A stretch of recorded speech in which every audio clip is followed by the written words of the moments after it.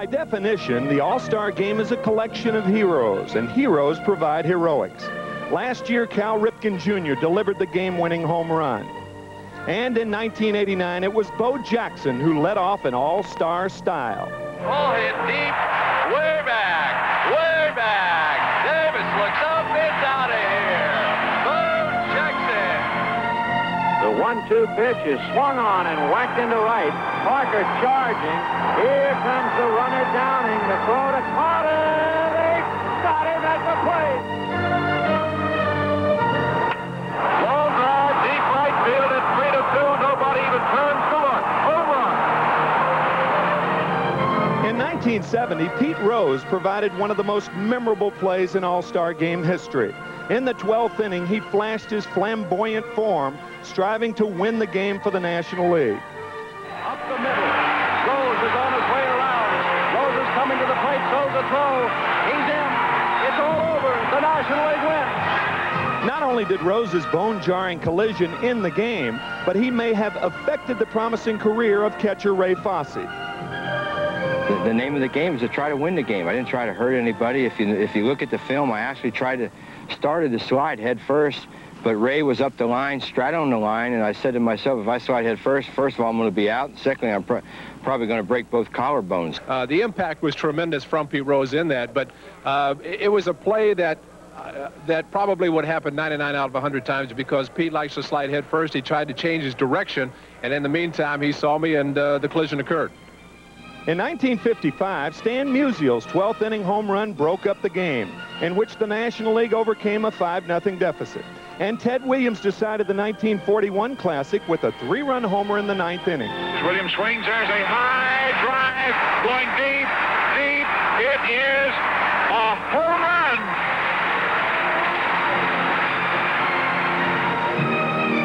Lou Gehrig and Babe Ruth, of course, provided plenty of thrills. The Bambino, in fact, left his personal calling card at the first All-Star game.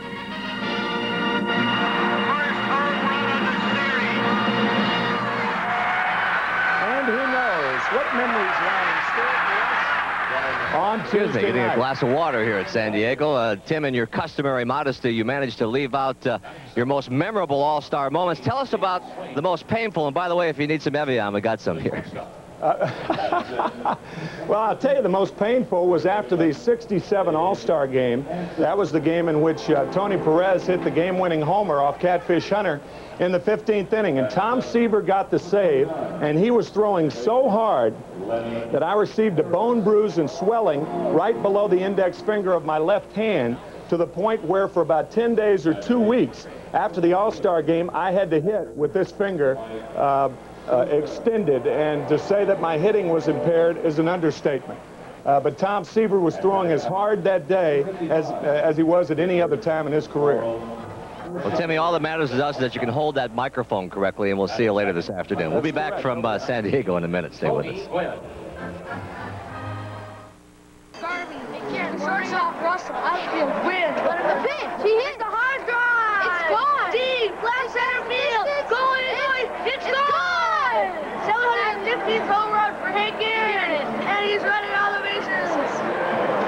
Oh. You ever try that? It, I try it every weekend. I try. It should be a great uh, game Tuesday, right? Uh, the stars come out no matter who wins or loses, always a good time. Reminder that our CBS Sports coverage of the 63rd All-Star Game will get underway on Tuesday night, 8 o'clock Eastern Time. Right now, they're set for the Cardinals and the Dodgers. Sean McDonough and Tim McCarver will have it for you in just a moment. For Jim Kaat, I'm Pat O'Brien in San Diego. Enjoy the game. We'll see you back here on Tuesday night. Have a nice day, everybody.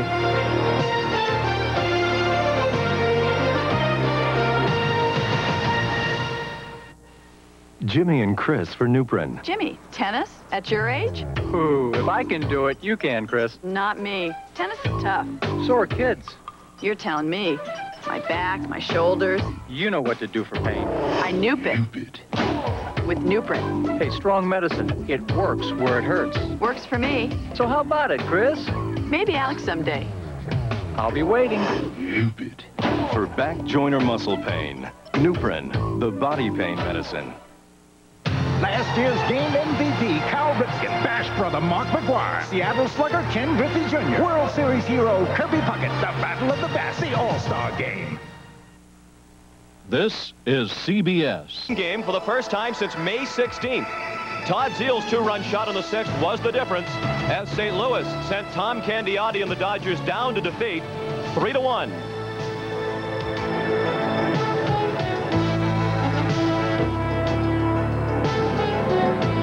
CBS Sports presents Major League Baseball. Today from Dodger Stadium in Los Angeles, it's game three of a four-game series between the Dodgers and the St. Louis Cardinals.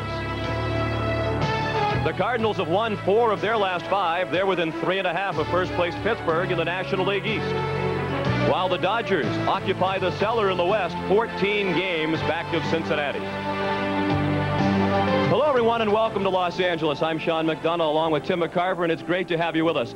The St. Louis Cardinals in contention in the National League East despite a young pitching staff that has been outstanding to this point. Four of their five pitchers very young. The All-Star game pitcher is Bob Tewksbury. And get this, their pitching has been so good that they've given up 25 runs over their last 16 games.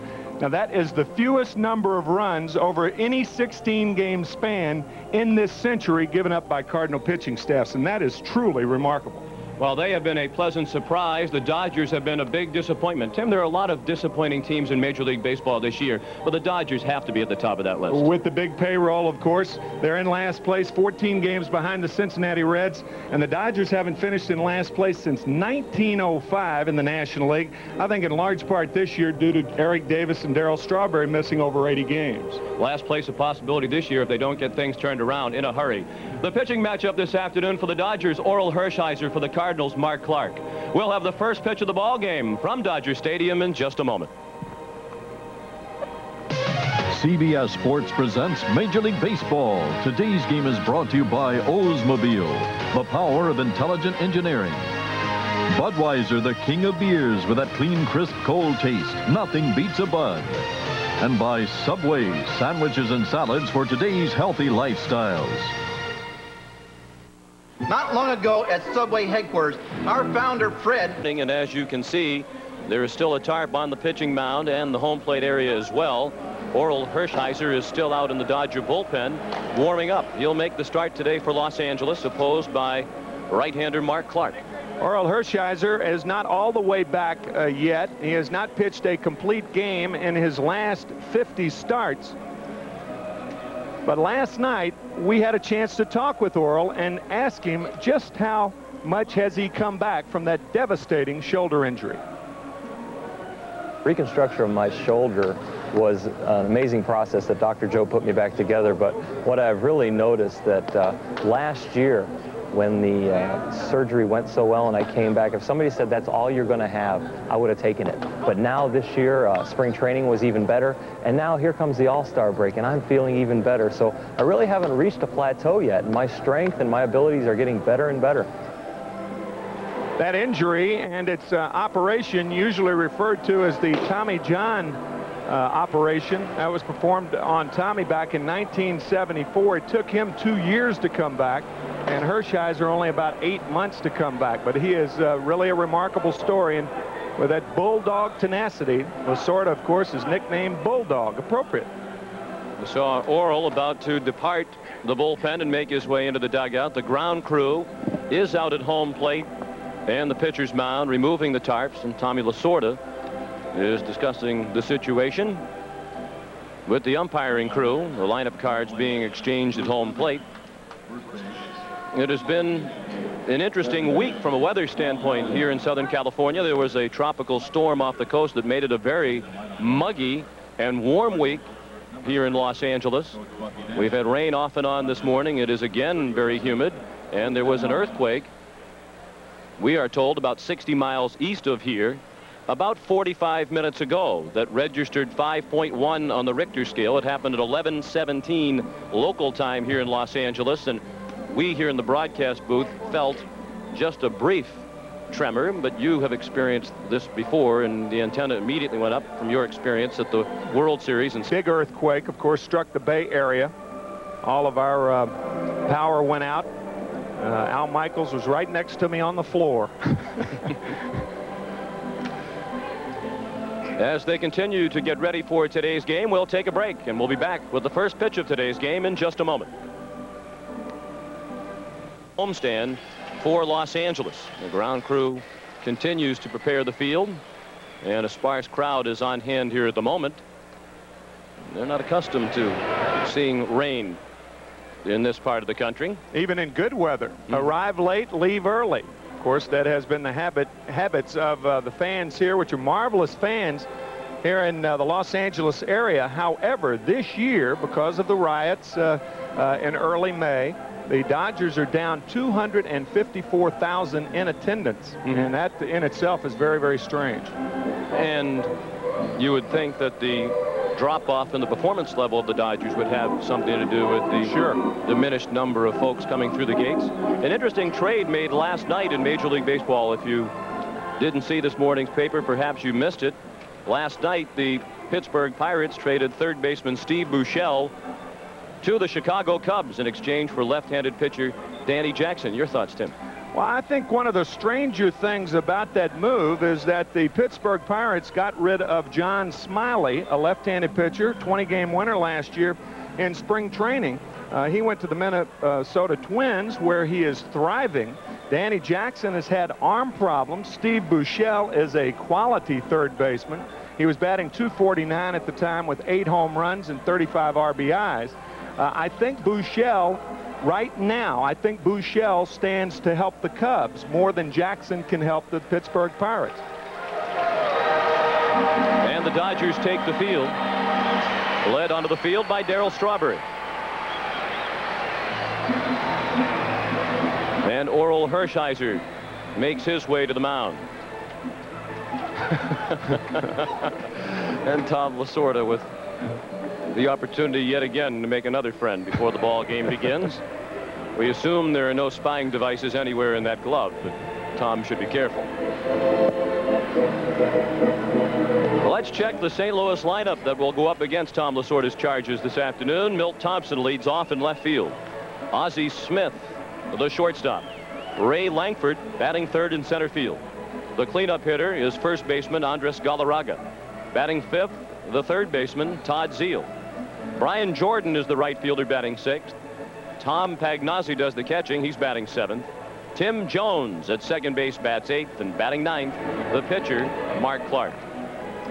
We mentioned that Orel Hershiser has had no complete games covering a one and a half year period in his last 50 starts. However, he has gone at least five innings in all 17 starts this year. So Orel Hershiser, 7 and 6 with a 3.34 earned run average. And he will be backed up by this defense. Derek Davis is in left field. Tom Goodwin in there for the ailing Brett Butler. Butler with problems to his right shoulder, diving to make a catch several weeks ago. Darryl Strawberry back in the lineup. He's in right field.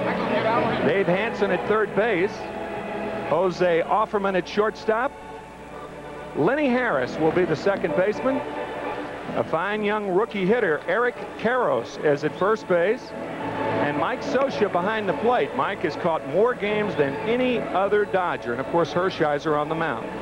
And defense, a big difference between these two teams. The Cardinals first in the league in fielding. The Dodgers are last. Last night, a rough night for Darryl Strawberry. He went 0 for 4 in the loss to the Cardinals. He struck out all four times, and he heard some loud boos here. Darryl said it was the loudest that he has been booed since he came to Los Angeles a year and a half ago.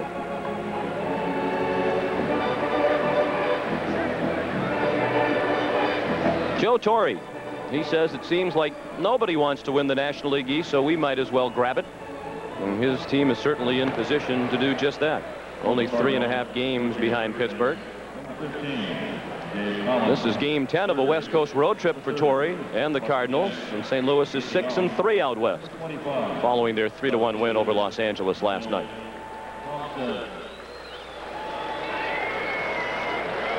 The start of the game delayed about seven minutes as they prepared the field. And here's Milt Thompson to get us underway. Just close friends and family in attendance at the moment. Milt Thompson at 308 with four homers and 12 runs batted in. He hit a home run last night off Tom Candiotti into the bullpen in right field. Tries to bunt his way on. And it's a strike, says home plate umpire Bruce Fleming. Kind of the long and the short of it. Milt Thompson with a home run in last night's game, and then he tries to bunt his first time up today. Hershiser. Nearly called a strike by Bruce Fleming. He committed the first balk of the day. Turned to call it a strike and then thought better of it. one ball and one strike. Hit hard into right field. A base hit for Milt Thompson.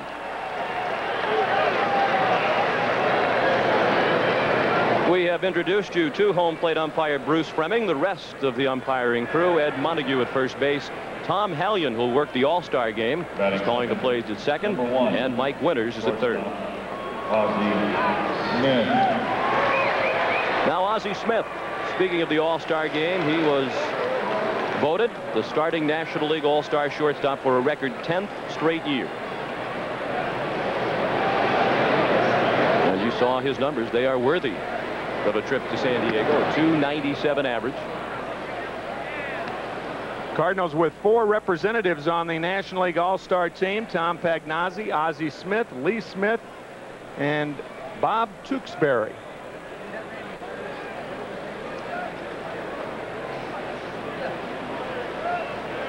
Thompson has stolen 12 bases. And Smith looks at a strike, one and one. One thing that helps Hershiser in situations like this, he gets a lot of ground balls. About two out of every three balls that are made contact by the hitter are on the ground. Good time to hit and run right here, and Joe Torre likes to do that. Thompson not running with that pitch. It's spilled into the third base seats. One and two on Ozzie Smith. Ozzie missed a couple of weeks with the chicken pox. Well, he's healthy now and ready to make his 12th appearance in the All-Star game and his 10th consecutive start. Wasn't it Roy Campanella who said uh, you got to have a lot of little boy in you to play this game? Mm -hmm. That doesn't mean you have to come down with little boys' maladies, though, does it? Indeed, it doesn't. And Ozzie's fared well since returning to action on July 1st. He's hit 342.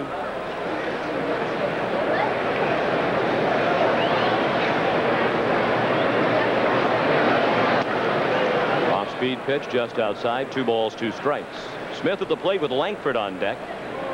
Thompson at first with nobody out in the top of the first no score. Bucky Dent through the signs for Thompson and Smith.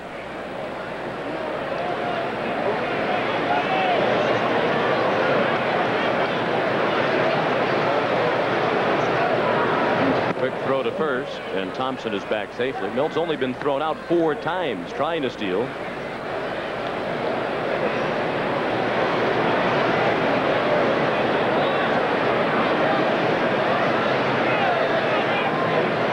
Hershiser trying to strike out Ozzie Smith for the first time ever. Thompson running. The pitch is a ball. The throw one Hopper not in time. And Thompson has stolen his 13th base of the year.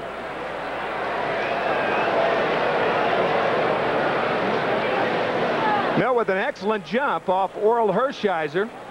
And he's into second base easily. Notice how he goes straight in, stand-up slide see the hook slide more and more in baseball disappearing. And when you're going in to steal second base, there's really no sense in trying to hook away from the tag.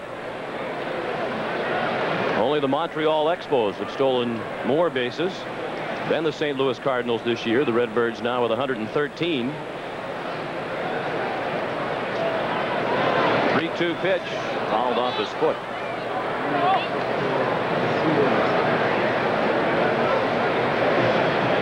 Is a stand-up slide? Well, it's a slide where your momentum into the bag allows you to stand up. What allows you to stop allows you to stand up.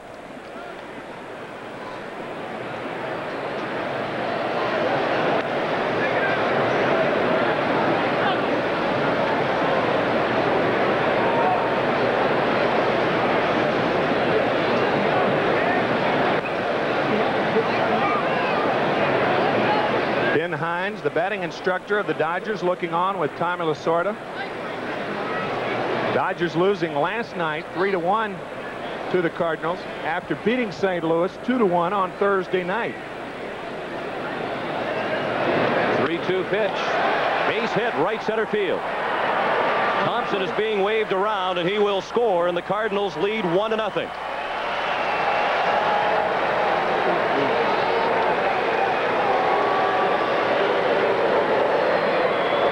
Ozzie Smith with his 20th run batted in of the year. Center fielder, Ray Lankford.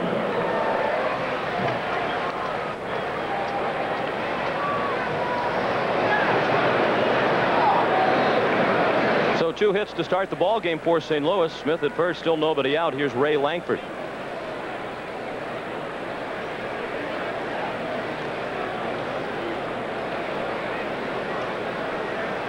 Lankford runs well. Hansen is in on the grass at third. The breaking ball is in for a strike.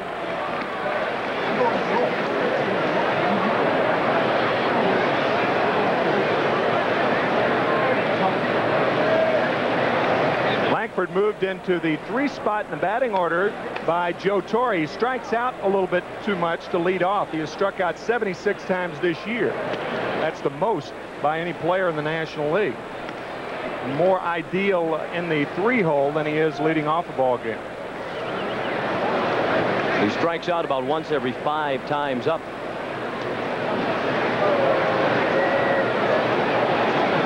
Hershiser surrendered a single to Thompson to start the game. Thompson stole second and scored on a base hit by Ozzie Smith. It was 19 stolen bases, and he's only been thrown out four times.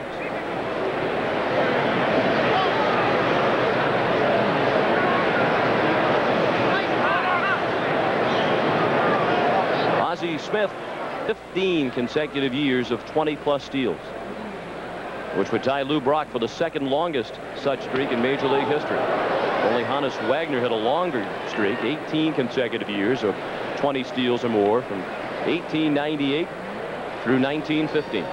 Not bad for the oldest shortstop in baseball. Ozzie, 37 years old. And one of the big reasons that the Cardinals are negotiating in halting fashion as far as giving Ozzie a multi-year contract.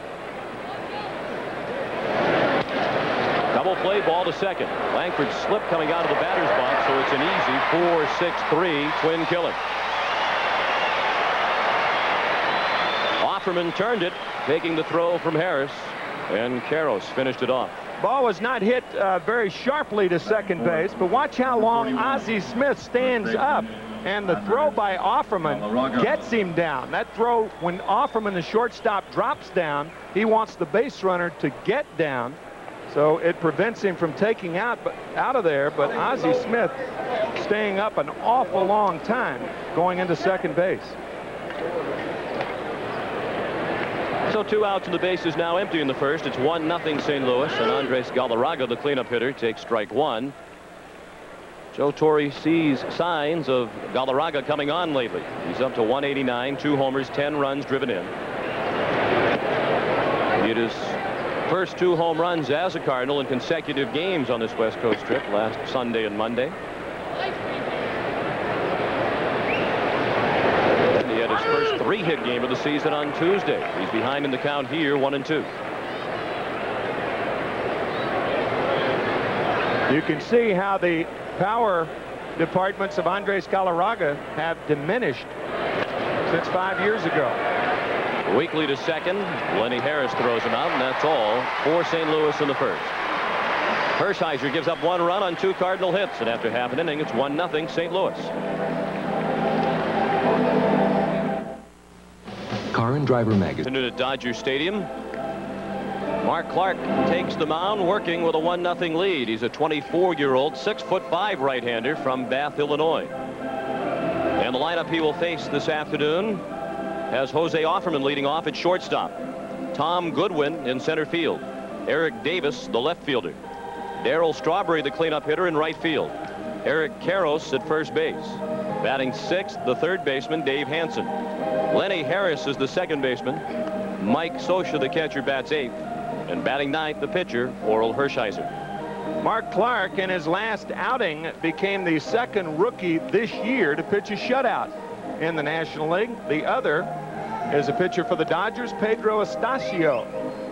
So Mark Clark off a strong start will have these folks behind him. Milt Thompson, the left fielder. Ray Lankford in center field. Brian Jordan, he will not play football anymore. He's with the Cardinals. Todd Zeile at third base. The Wizard of Oz at shortstop. Tim Jones at second base. Slick fielding Andres Galarraga at first. Tom Pagnozzi behind the plate. And Mark Clark on the mound. Or as we would say in New England, where I'm from, Mark Clark. Mark Clark. Jose Offerman ready to face Clark. Offerman hitting 262. He has knocked in 15 runs.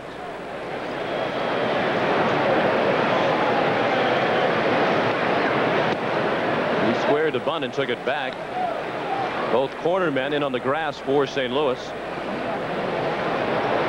Zeile in at third. Galarraga is now backed up a half step at first. Again, he shows bunt. This time it's a strike, one and one. Tommy Lasorda a while to come up with his lineup this morning. He had a check on the health of Mike Sharperson. who's been seeing most of the action lately at second base. Sharperson bothered by a sore right groin that kept him out of the lineup today. Brett Butler was a question mark, but he was scratched with the sore shoulder that caused him to leave last night's game. Things continue to go poorly in 1992 for Tommy Lasorda.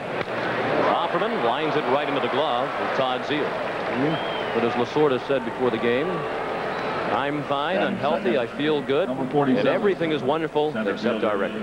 And Mike Sharperson hopes he's fine for Tuesday night. He is the Dodgers' lone participant in the All-Star game.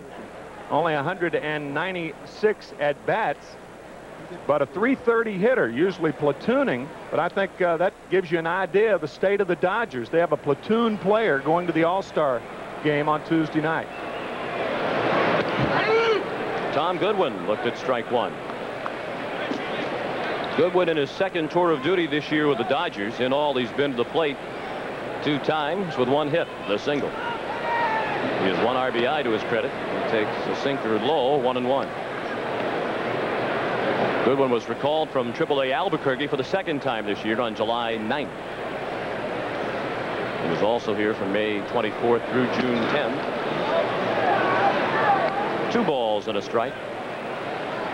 Goodwin will be followed by Eric Davis. And when you think of Dodger candidates for the All-Star team, you certainly think of Davis and Strawberry and Hershiser ahead of Sharperson. A rare misplay in the field by Ozzie Smith. We'll wait to see how they score it. It was hit to his left, but a ball the Wizard usually handles, and the Dodgers have a one-out base runner in the bottom of the first. Only the fifth error all year by Ozzie Smith. The Cardinals, by the way, lead the National League in fewest errors committed with 54. Well, that is a ball that Ozzie Smith usually just sucks up. And that is his first error in 43 games. He had played 20, or rather 42 consecutive games without an error. And that is the longest such streak by a shortstop in the majors this year. Wow, 13 errors and 913 chances.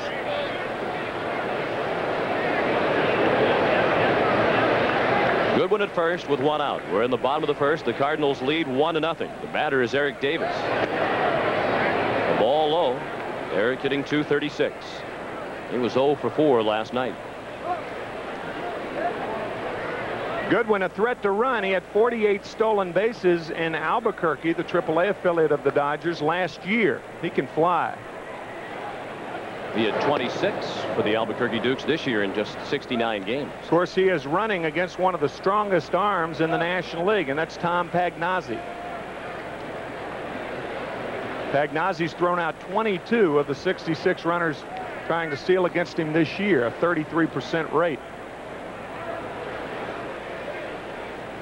Goodwin is on the move. The pitch high and tight. Pagnozzi's throw got him in plenty of time for Tim Jones to apply the tag. Two outs and the base is now empty for Los Angeles. They used to have uh, those contests between games of doubleheaders where catchers used to throw balls in the barrel. Well, this ball would have been in the barrel. You get like 50 bucks in the minor leagues. They do that all the time. This ball would have been in the barrel right there. Perfect throw by Pagnozzi to get Goodwin. Davis hit a broken bat ground ball to second. And that's it for Los Angeles in the first. After one at Dodger Stadium, it's 1-0 St. Louis. One nothing St. Louis after one inning here at Dodger Stadium in Los Angeles. The Cardinals of Todd Zeile leading off the second, then Brian Jordan and Tom Pagnozzi. Zeile, after a very slow start, is up to 260. Five home runs, including a two-run homer last night, and 30 runs driven in. We mentioned at the top of the show this afternoon, the Cardinals went 49 games without hitting more than one home run in a game before they had the two last night. The first time since May 16th. That's a base hit. And Zeile continues hot. Three hits now for St. Louis. Number three, right fielder, Brian Jordan. The reserves selected to the National League All-Star team this week by manager Bobby Cox and National League President Bill White, Darren Daulton, and Tom Pagnozzi. The reserve catchers, Will Clark and John Kruk, first baseman. We mentioned that Mike Sharperson is the only Dodger representative, and he'll be backing up at second along with Craig Biggio. And these are the starters elected by you, the fans, in 1992. Ball inside to Brian Jordan. Brian has been in a slump ever since announcing his decision to stay with baseball and give up football. His averages dipped below the Mendoza line.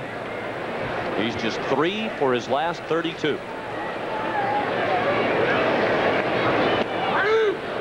A strike, and it's one ball and one strike. That outfield grass is still very, very wet. And I think uh, if you're a base runner, you try to take advantage of that. You may be seeing the Cardinals and the Dodgers both trying to take advantage of the wet grass in the outfield and taking an extra base on balls hit to the outfield. That's where a lot of pitchers have started to pitch Brian Jordan is inside. He's got that football swing, good power the other way, but he likes to extend his arms. Most guys who have played football have built up their chest muscles and their shoulders to the point where they have a difficult time getting around on the balls inside. Chop slowly down to third. Hansen has to hurry, and his throw is not in time. Looked like Hansen had trouble with both the footing and the grip on the ball. It wasn't much of a throw, and even if he had plenty on it, it probably wasn't going to be enough to get the speedy Jordan. Yeah, also guys who have played a lot of football, and certainly Brian Jordan has, they can run, and they can run from a flat-footed stance. Brian Jordan, great acceleration, getting down the line quickly, and Hansen with no chance on throwing him out. So St. Louis had back-to-back -back hits to start the first. They scored one run in the first. Now they have back-to-back -back base hits here in the second for Tom Pagnozzi. The all-star reserve catcher hitting 282.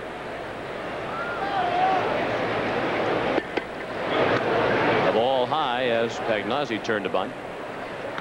Four homers for Tom, three of them away from Busch Stadium in St. Louis. He entered this season not having hit a home run outside of Busch Stadium. That bunt attempt was not an attempt at all, I don't think. I think that was a decoy to give the infielders a chance to move around a little bit. He's certainly hitting here. And he hits it fair down the left field line. That will score at least one. Zeile's on to score. Jordan's being waved in. He will score, and it's 3-0 St. Louis. A two-run double for Tom Pagnozzi. He's driven in 28 runs this season. Number eight, second base. Usually he hits the ball the other way, but this one is drilled by Dave Hansen at third base. And that definitely it- was not a bunt, Tim. No, definitely not. No. if it was, it was hard. You can see Bucky Dent wasting no time in sending Jordan. With nobody out, you have to be sure, and Dent was sure Jordan scores without a play.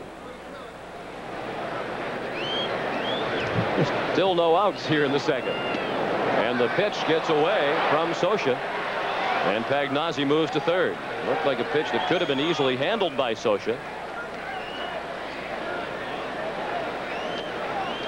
the first to go for a catcher. You see Scioscia not getting down right there. A lot of times the knees are aching, the ankles are aching. Those are the uh, two areas of a catcher's legs that uh, give them the most problem when they are an aging ball club. And as you see, the Los Angeles Dodgers with the oldest team age in the National League. Not only that, but the oldest pitching staff, too. Mm-hmm. Pitching staff, average age of better than 31 years. But the Dodgers struggle to score runs. The infield is in here in the second. St. Louis already leading three to nothing, and they have a runner at third with nobody out. One and one, the count on Tim Jones, the second baseman hitting 195. That was a pass ball charged to Mike Scioscia. Hard to believe that that is eight passed balls already for Mike Scioscia wow. this season. Bear in mind that part of that comes from handling the knuckleballer Tom Candiotti.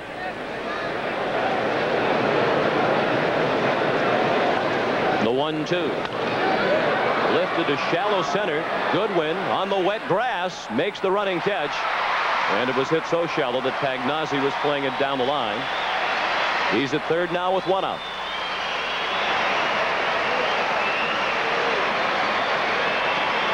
Talked about how fast a runner Goodwin is. A little shaky on that play.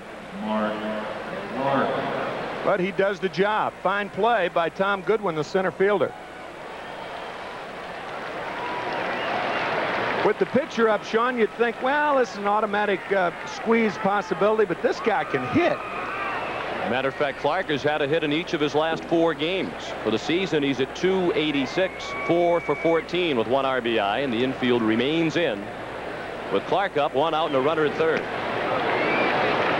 That four-game hitting streak leaves Clark one shy of the longest streak by a pitcher this season. Philadelphia's Don Robinson hit safely in five consecutive games until his streak was snapped while pinch hitting on Wednesday.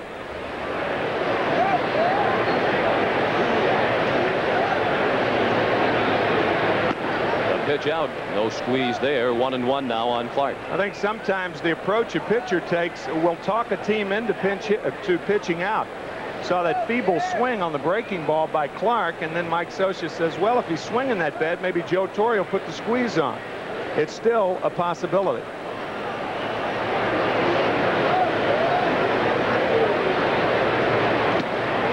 Just outside, two balls and one strike on Clark.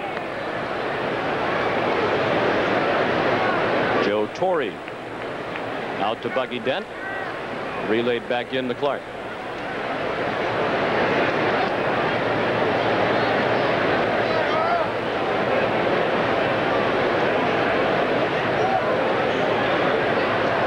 off to see if Clark would give it away and no flinching by Mark Clark. You know, I don't think I've ever seen that. I've seen it in sacrifice situations, but not in squeeze situations.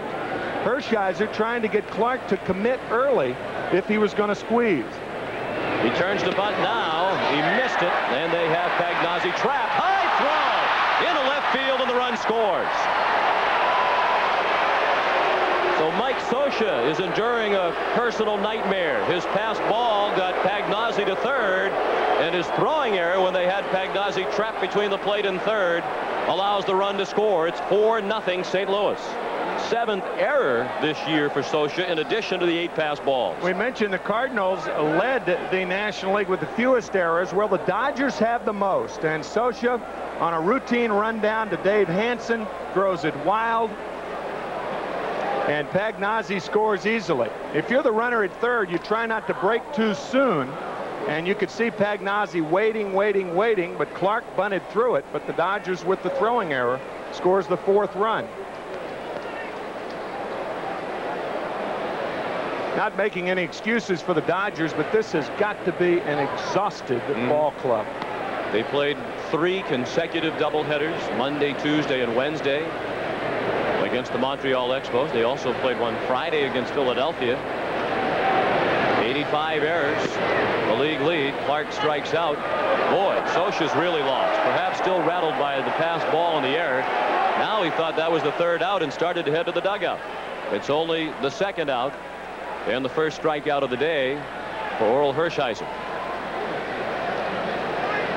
Number 25, Milt Thompson embarrassing is a word that I hate to use uh, on a ball field because I've been out there and I'll tell you there's no place to hide but I know if uh, he could crawl in a hole right now Mike Scioscia would probably the last thing the most embarrassing, leaving the leaving the field with only two outs.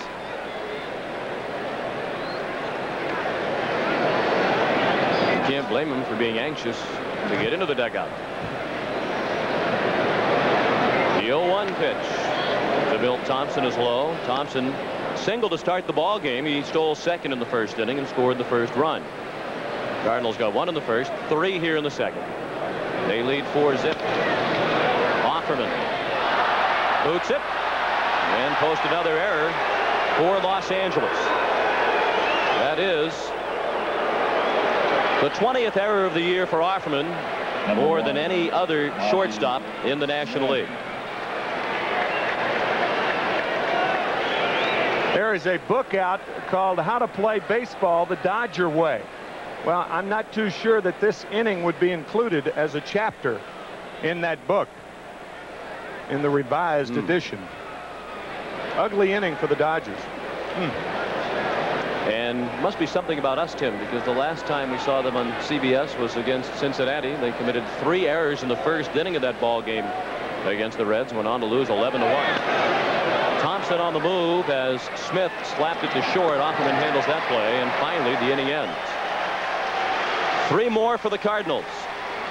And after an inning and a half, it's 4 nothing St. Louis.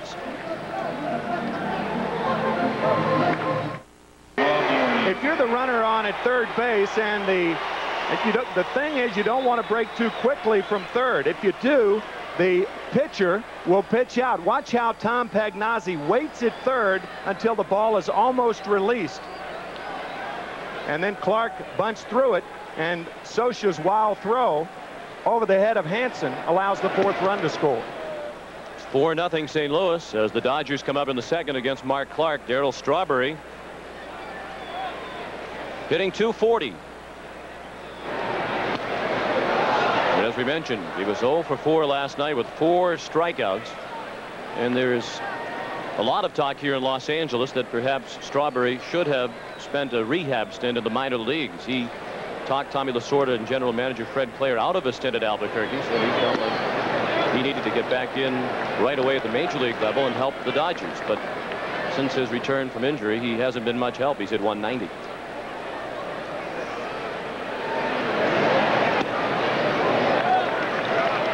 Ahead here, three and one. Strawberry, then Eric Karros, and Dave Hansen.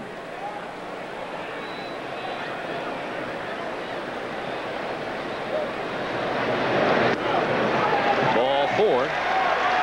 And the lead man is on for Los Angeles in the second. That's the first walk issued by either pitcher this afternoon.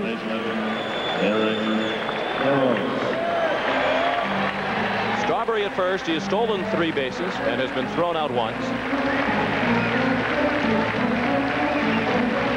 And here's Eric Karros, the Dodger leader in home runs and runs batted in with 10 and 32 respectively. He leads all rookies in the National League in home runs and RBIs. Big, strong guy from Hackensack, New Jersey. The Dodgers have been criticized in recent years for not developing much of their own talent, but this is one guy who he will be around for a while. I, I think the uh, we mentioned the AAA affiliate of the Dodgers. I think that might have something to do with it. Albuquerque, New Mexico is very high up. Ball carries very well. And through the years, the Dodgers have had young players do exceptionally well at that ballpark and in that town. And they come to the big leagues, and some fizzle. Swing at a pitch out of the strike zone. And Karros is the first out of the inning. That's the first strikeout this afternoon from Mark Clark. Strawberry at first now with one out. Two names that come to mind, Greg Brock. Remember Greg Brock a decade ago, and Mike Marshall. Big years. Mike Marshall that won the trip there. Indeed, they can be. Makes it very difficult to evaluate your own prospects. Dave Hansen, another young player, whom the Dodgers are high. He takes strike one.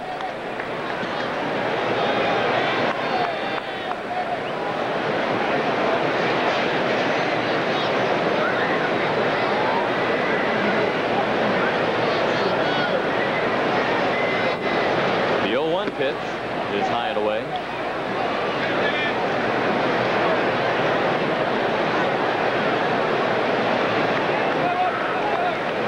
Joe Coleman, the Cardinal pitching coach, talking about Mark Clark. An interesting term. He said he's a power pitcher, but not a strikeout pitcher.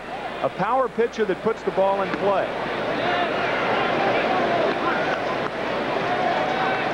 The St. Louis rotation, as we mentioned at the outset, consists of Major League ERA leader Bob Tewksbury, and then four pitchers aged 25 and under. Clark was 24 in May. Rheal Cormier turned 25 in April. Omar Olivares turned 25 on Monday. Donovan Osborne just turned 23 in June. And there are some impressive numbers being posted by these three Cardinal rookies. 14 and 8. If you're wondering about the rest of the National League, the rest of the National League is 31 and 56. So the three Cardinal rookies have won almost half as many games as the other 11 teams mm. combined in the National League. 14 victories by Cardinal rookie pitchers, the most of any team in the majors. The rookies on the other 11 National League teams are a combined 31 and 57. And the rain has returned to Dodger Stadium. Two balls and two strikes on Hansen. One out, a runner at first. We're in the second. It's 4 nothing St. Louis. And now the count is full. You send the runner right here. I think you, even though you're trailing four to nothing, we talked about how he's a contact pitcher. He doesn't strike out a lot of guys. 16 strikeouts in eight starts this year. So I think I'd send Strawberry here. The Dodgers have very little to lose at this point, and they're really struggling to score runs. Strawberry does not move. It's a base hit. Dave Hansen extends his hitting streak to a career high seven straight games. He had a pinch hit single in the ninth last night to keep that streak alive. Number 29. So Darryl Strawberry, by not going, uh, didn't go to third base. I think the natural inclination for teams when they're going poorly is to be too passive and to, and to get too much back on their heels, to play it too much a base at a time. I think if you take the opposite approach, and play with a little more wild abandon, uh, abandon when uh, when things are going poorly for you, you'd be better off. Mm -hmm. You might make something happen, generate a little enthusiasm, yeah. and yeah. get yourselves out of the doldrums. What do you have to lose? When you're 14 out at this point in the year, very little. There's a double play ball to Smith. Jones turns it. 6-4-3, and that ends the inning. After two in Los Angeles, 4-0 Cardinals. The lone Dodger representative in the All-Star game. He was a bit of a surprise choice, and yesterday I asked him for his reaction. Well, you know, it's pretty hard to put in words. Uh, I know my wife and I, we high-fived for about five minutes, uh, laughing at one another. You know, we couldn't really believe it. As first of all, it was like a guy that was never on a ballot, uh, didn't even have a start position at the beginning of the year, platooning with Lenny. And then all of a sudden, I found myself playing every day, and now I'm going to the 1992 All-Star game. And we'll have the All-Star game for you Tuesday night from San Diego at 8 p.m. Eastern Time. Tuesday at 8, right here on CBS Sports, the 63rd All-Star game. Mike Sharperson needed a little extra effort to high-five his wife. He was resting at home, his right groin, had his foot up, and was just trying to get healthy. But he said when he got the phone call, he completely forgot that he had a groin injury. Started bouncing around the house, high-fiving with his wife. And so many of the Dodger players we've talked to the last couple of days expressed their open happiness for Sharperson. It's nice to see somebody, as he said, a platoon player, get mm -hmm. a chance to go based on his fine performance in that role. And it's not often that uh, five years later, after a rather insignificant trade is made, that both players get to the All-Star game. Galarraga rips one down the left field line. That's a foul ball. Lankford led off the inning, as you saw, with the fly ball to left on the first pitch. And now Galarraga's up there with a count of one and two. He bounced out his first time up. The trade to which we are referring was the Juan Guzman from Mike Sharperson trade back in 1987. A rather obscure trade uh, made by the Dodgers to help them uh, fill in their infield. And the Toronto Blue Jays knew they would have to wait. Getting Juan Guzman had a problem with control throughout his career. And here, five years later, they're both in the All-Star game. That's neat. It's really such a minor trade at the time. Yeah. And now two All-Stars. Galarraga goes down on the breaking ball. Two outs in the third.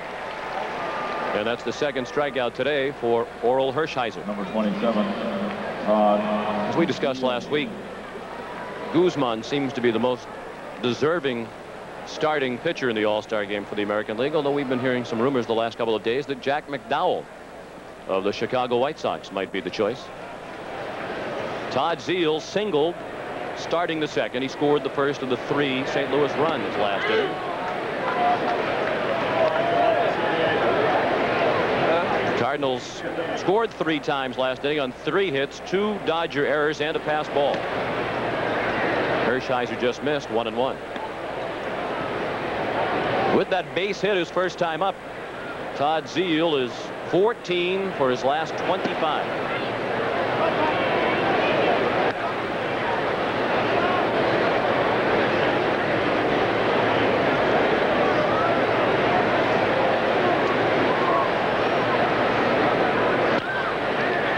To Hansen. He threw on the run. It's dug out of the dirt by Eric Karros. And the Cardinals go in order for the first time. After two and a half, it's 4 nothing St. Louis, and we'll return to Dodger Stadium after this word from your local station.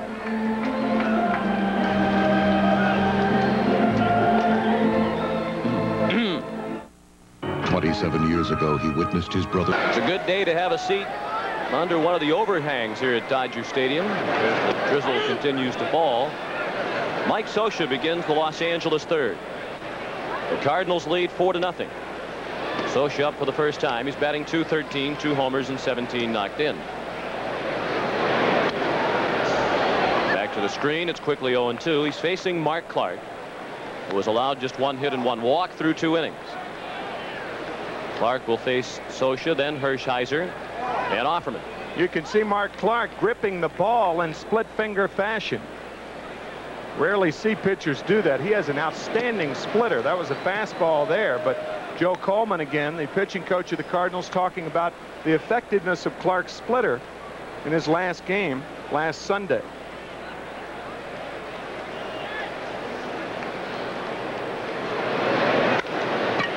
Lifted to left. Milt Thompson drifts back, one out.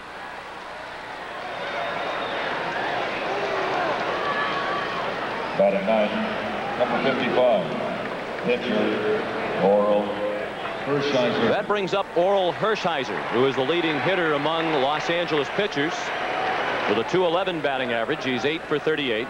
He's also the Dodger leader among pitchers and runs batted in with three.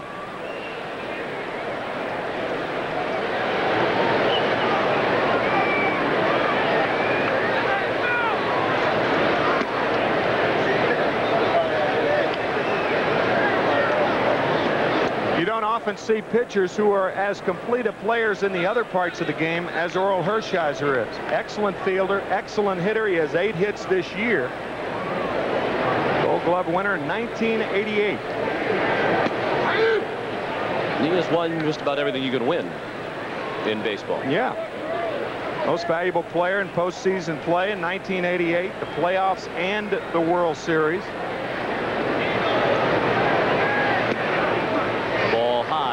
Two balls and a strike.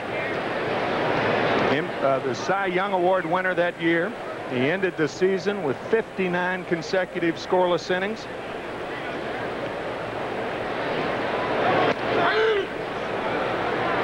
Two and two now. Four nothing St. Louis. We're in the bottom of the third, one out and the base is empty. Zeile on the move, makes the play.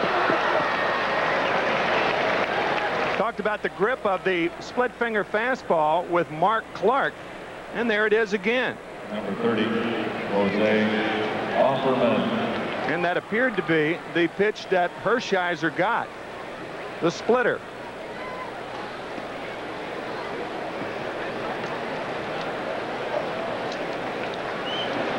Two outs and the base is empty. Clark waits as Jose Offerman took his time coming to the plate. Had to buy a little extra time for Hershiser to gather himself. Offerman lined to third, starting the Dodger first.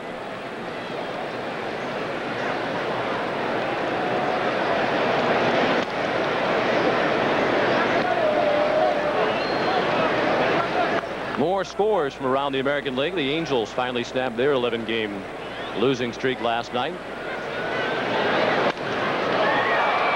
Pretty well hit to left, and Thompson was in shallow, but he's back to make the catch, and the Dodgers go in order in the third.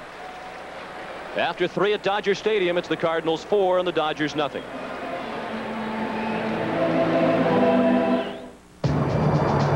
lead four to nothing. That young lady is obviously a Dodger fan. Not very happy at the moment.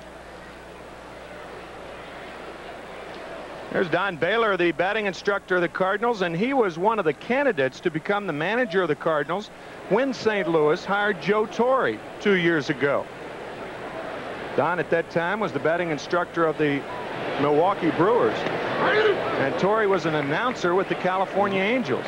Can you imagine the security that Joe Torre must have had to hire a guy who was thought highly enough to be considered as manager, to hire him as your batting coach? And it's possible he could lose Don Baylor as his batting coach. Baylor's name has been at the top of the rumor list for the vacant managing job with the Texas Rangers. It's not vacant at the moment, and that's being occupied by Toby Harrah, but he's been carrying the interim label, although we heard some scuttlebutt this morning that said it might be announced in the next day or two that Harrah is going to be the Ranger manager for the go to the fourth. Joe Torre hiring uh, Don Baylor, much akin to George Bush uh, asking Ross Perot as if he'd be his running mate. Not quite that extreme, no. mind you. A lot of people thought Baylor would get that managing job in Milwaukee when Tom Trebelhorn was fired. That's a fair ball. Again, down to the left field corner. Jordan in the second with a leadoff double. He's two for two today. He came into this one three for his last 32. He has a single and a double this afternoon. We talked about how Brian Jordan needs to extend his arms in his last at bat, that you can crowd him. Watch how he extends his arms on this breaking ball. That's full extension. So you can really tell that Jordan loves the ball out over the plate. He slaps it down the left field line and slips rounding first base, barely touching the bag.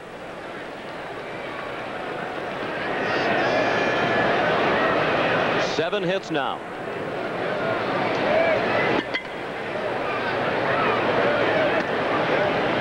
And a ball outside to Tom Pagnozzi. He had the biggest hit of the ball game to this point, a two-run double down the left field line in the second. He scored the final run of the three-run second for St. Louis.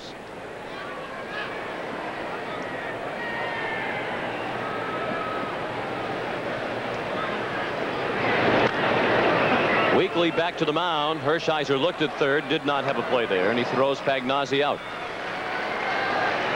Jordan at third with one out. Let's take a look at the game summary to this point. The Dodgers have committed two errors that opened the door for the three runs in the second. Only one of those runs was unearned.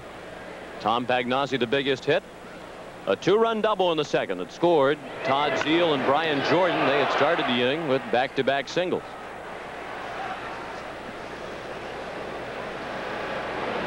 And on that double, Pagnozzi picked up RBI 27 and 28. Jones turned on one and pulled it well foul into the stands and right. Then a pass ball got Pagnozzi to third. Clark tried to squeeze him in and missed, but Scioscia threw it over the head of Dave Hansen. An error charge to Scioscia to go along with his pass ball in the inning, and Pagnozzi scored to make it four to nothing. That's where we stand now in the fourth. The infield again in for the Dodgers, and Jones lifts a pop-up. Could be a problem. Caught on the run by Davis. He had the only shot at it with Offerman playing in. Ordinarily, that would be the shortstop's ball, but Jose was in on the edge of the grass, and Jordan is still at oh. third with two outs now.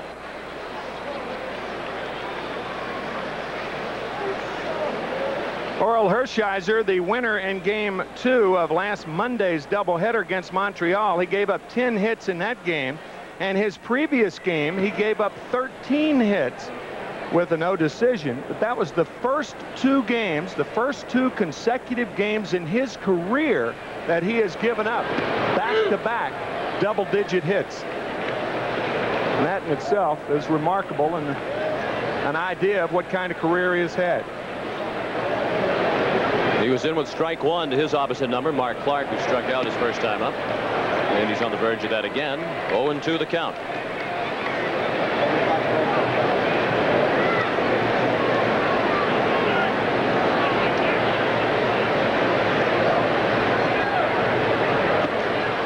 Time Clark laid off the breaking ball from Hershiser. Orel looking for his eighth win of the year. He's seven and six. Well, an ERA of 3.3. There was some speculation a couple of days ago that he might be the Dodger All-Star selection. Fastball high, two and two.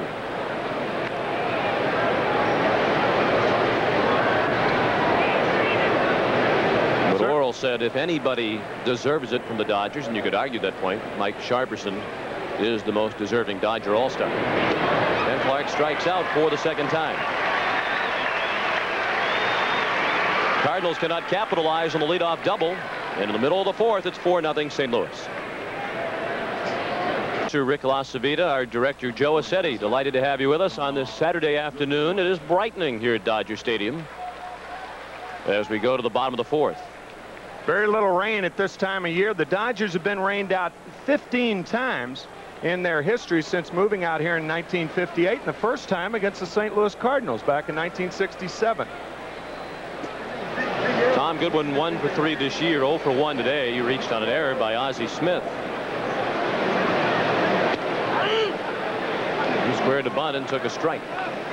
Goodwin, Davis, and Strawberry in the fourth inning.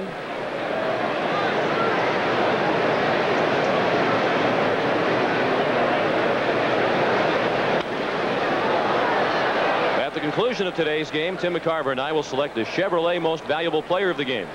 Chevrolet will donate $1,000 in the player's name to the Special Olympics.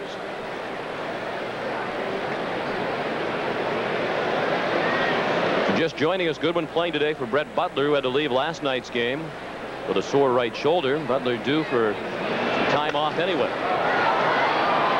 Fly ball to shallow right. Brian Jordan the catch. One out in the fourth. Butler, Jose Offerman, and Eric Karros the three Dodgers who played in every inning of those three double history since moving out here in 1958 and the first time against the St. Louis Cardinals back in 1967. Tom Goodwin one for three this year 0 for 1 today. He reached on an error by Ozzie Smith. He squared a bunt and took a strike. Goodwin, Davis, and Strawberry in the fourth inning.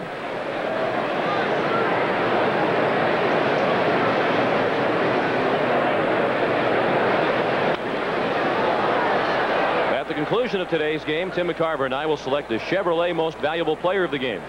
Chevrolet will donate $1,000 in the player's name to the Special Olympics.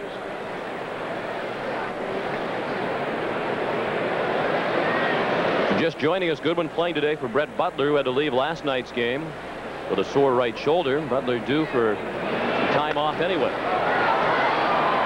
Fly ball to shallow right. Brian Jordan the catch. One out in the fourth. Butler, Jose Offerman, and Eric Karros, the three Dodgers who played in every inning of those three doubleheaders Monday, Tuesday, and Wednesday against the Montreal Expos.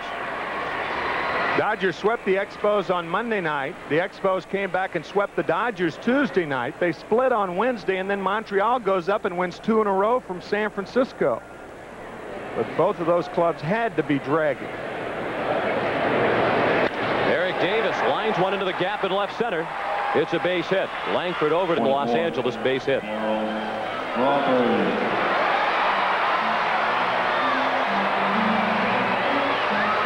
We mentioned Brett Butler not in action today. Coming into today's game, he had played in 233 consecutive games. And that is the second longest current streak in the majors behind Cal Ripken's 1,658.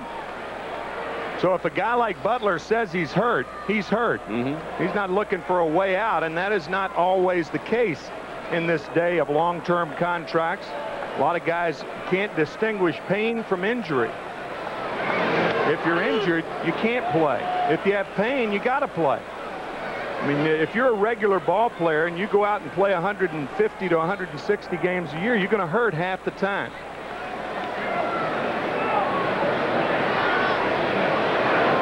Strawberry pulls one down the right field line. That's a fair ball. Jordan over to play it. Davis to third. Strawberry holds it first with a long single.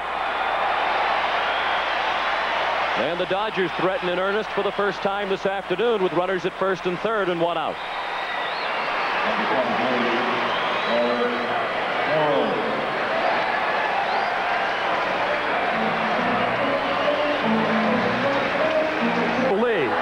6'6", so you would anticipate it being long. Look how he curls the bat. And watch this long swing, how far he has to go with the bat to get it in the hitting motion. Long and effective. Mm-hmm. Eric Karros the batter. One ball on Karros, who struck out swinging his first time up. That's the only strikeout registered by Mark Clark to this point.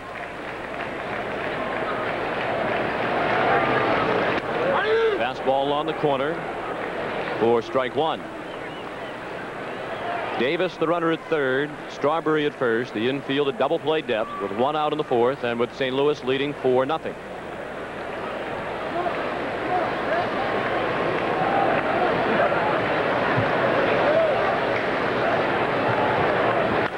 In on the hands and popped up. Galarraga in foul ground makes the play. That is a big second out of the inning for St. Louis. Well, a pitcher can entice younger players to go out of the strike zone in situations like that because most of the time the young players are anxious. Mark Clark is a young pitcher, but he's got a veteran catcher back there, and this ball in on the hands of Eric Karros. It ties him up, and the Cardinals get an important out.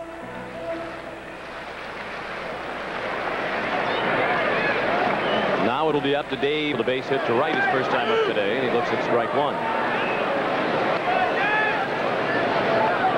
Hansen, with his one for one today, is now 10 for his last 19.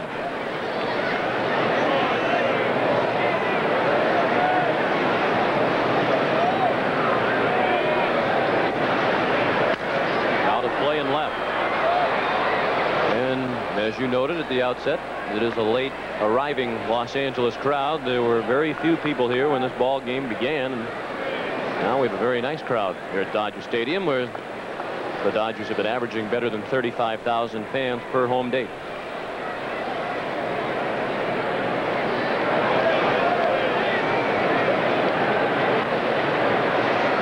The 0-2 pitch.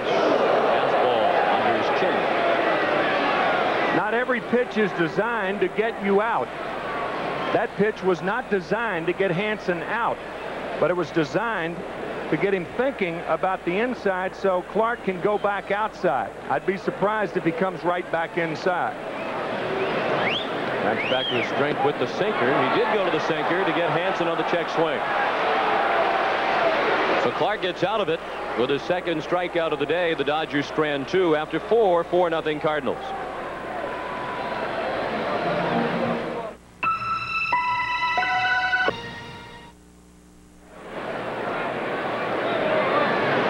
Dodgers and their fans, nine through the first 20 games of the homestand, following their 3-1 loss last night. Top of the order for St. Louis in the fifth. Milt Thompson singled in the first, reached on an error by Offerman in the second, and he's on again with a base hit past Offerman. Two for three is Milt Thompson. I think it's worth reiterating also that the Dodgers have not finished in last place in the National League since 1905. The Cardinals, on the other hand, similar success. They didn't finish last in the National League from 1918 to 1990. But then before Joe Torre took over, Whitey Herzog left, eventually landed with the California Angels as their general manager. And in 1990, the Cardinals finished last. Ozzie Smith singled to right center in the first. He bounced to short in the second.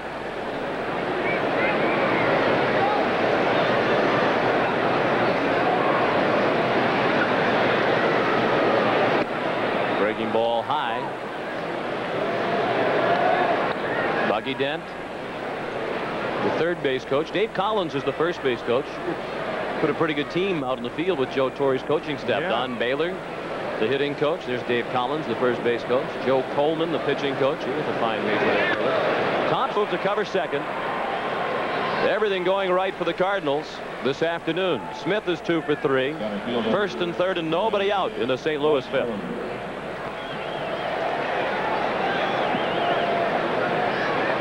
In order to prevent a ball going through a vacated position, you as the middle infielder, if you come up and then over, you prevent that. Offerman went right to the bag. That's what a lot of young shortstops do. If you come up, you don't give up the position. Naturally, you're playing closer. But he broke right for the bag, vacating the hole. Smith takes off. Scioscia's throw a one hopper, not in time. Offerman fielded it on the hop and tried to sweep the tag back to get Ozzie Smith. But it's a stolen base, and that's the 20th of the season for Ozzie. His 15th year now of 20 stolen bases or more. And that ties him with Lou Brock for the second longest such steals.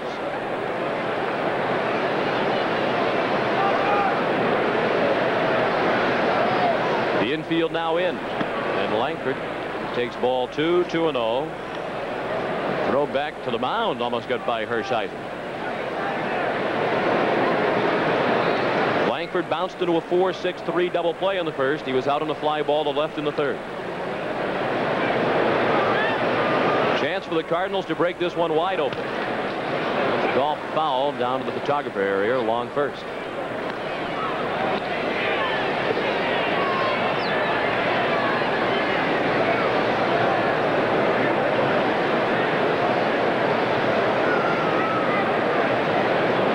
Hershiser has now yielded eight hits.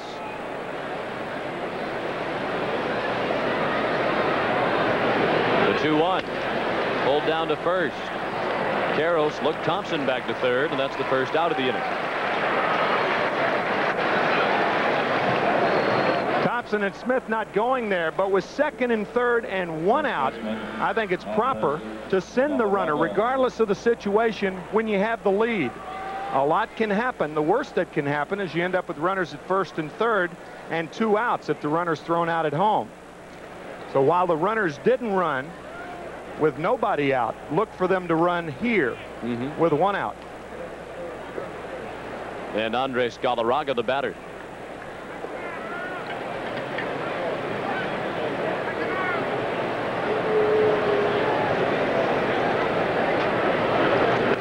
In tight, ball one.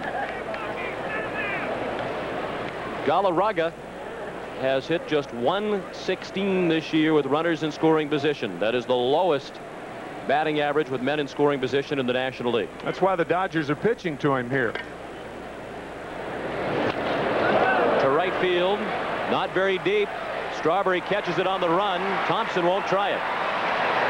He came about a third of the way down the line before returning to third. So they had second and third with nobody out. Now they're at second and third with two outs. Normally with first base open, you would tease the strike zone with Galarraga up there. You wouldn't throw him a good strike to hit. But because he has been so futile with runners in scoring position, they pitch to him and he continues to be unproductive. If you're the Cardinals there with Thompson, a decent runner at third, you're already ahead four to nothing. Why not take a chance with Milt Thompson? Wet outfield grass. I think you have the fat part of the lineup up. I think with Zeile hitting, with Jordan hitting, both have been swinging hot bats. I think it's uh, it would have been suicidal to try to score on uh, on Darryl. He was too shallow. Even though he did catch the ball below the waist, so he had a lot to do with the throw, but that throw would have nailed Thompson. Now they'll pitch around. Todd Zeile, pitching coach Ron Perranoski, visited the mound to talk about the situation. Zeile 14 for his last 26, so they won't mess with him. They'll load the bases with two outs and work to Brian Jordan. Another term for a base hit in baseball is safeties, right? Mm-hmm. Well, Brian Jordan with two safeties today. That's exactly how many he had last year in the NFL. Two safeties, and that tied an NFL record. Was frequently a blitzing defensive back in that hard charging scheme of Jerry Glanville. Really, a Jerry Glanville type player would rip your head off if he had a chance to. Saw Brian Jordan's wife a couple of days ago. She's on the trip here in Los Angeles. Said, you mm-hmm. must be very happy that your husband's not playing football anymore. You don't have to worry about him getting injured. She said, oh, no. I'm a football fan. I like football better than baseball. I wish he was still playing. So we know the pressure to give up football did not come from Brian's wife, Pam. Ball one to Jordan. He had an infield hit and scored in the second. He doubled down the left field line and was stranded in the fourth. Double last inning came as the leadoff hitter, and they got Jordan to third with one out. So if the Cardinals failed to score here, this was this would be the second consecutive inning in which they had a chance to pad the lead and failed to do so. A great chance, in fact.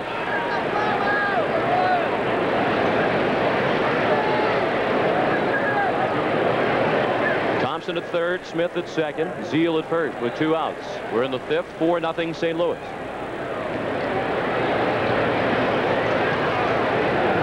Hershiser took too much time. He's working from the windup with the bases loaded.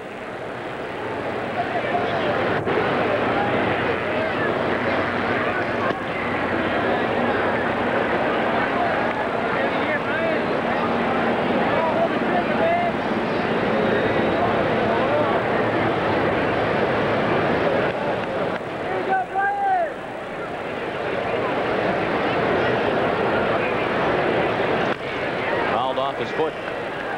Brian's wife did not pressure him to give up football, his mother did. His mother, Betty, lives in the Baltimore area, says she used to pray during every one of Brian's football games that nothing would happen to him physically. She reminded Brian of what happened to Bo Jackson. Jordan says that Jackson's experience definitely contributed to his decision to play baseball only.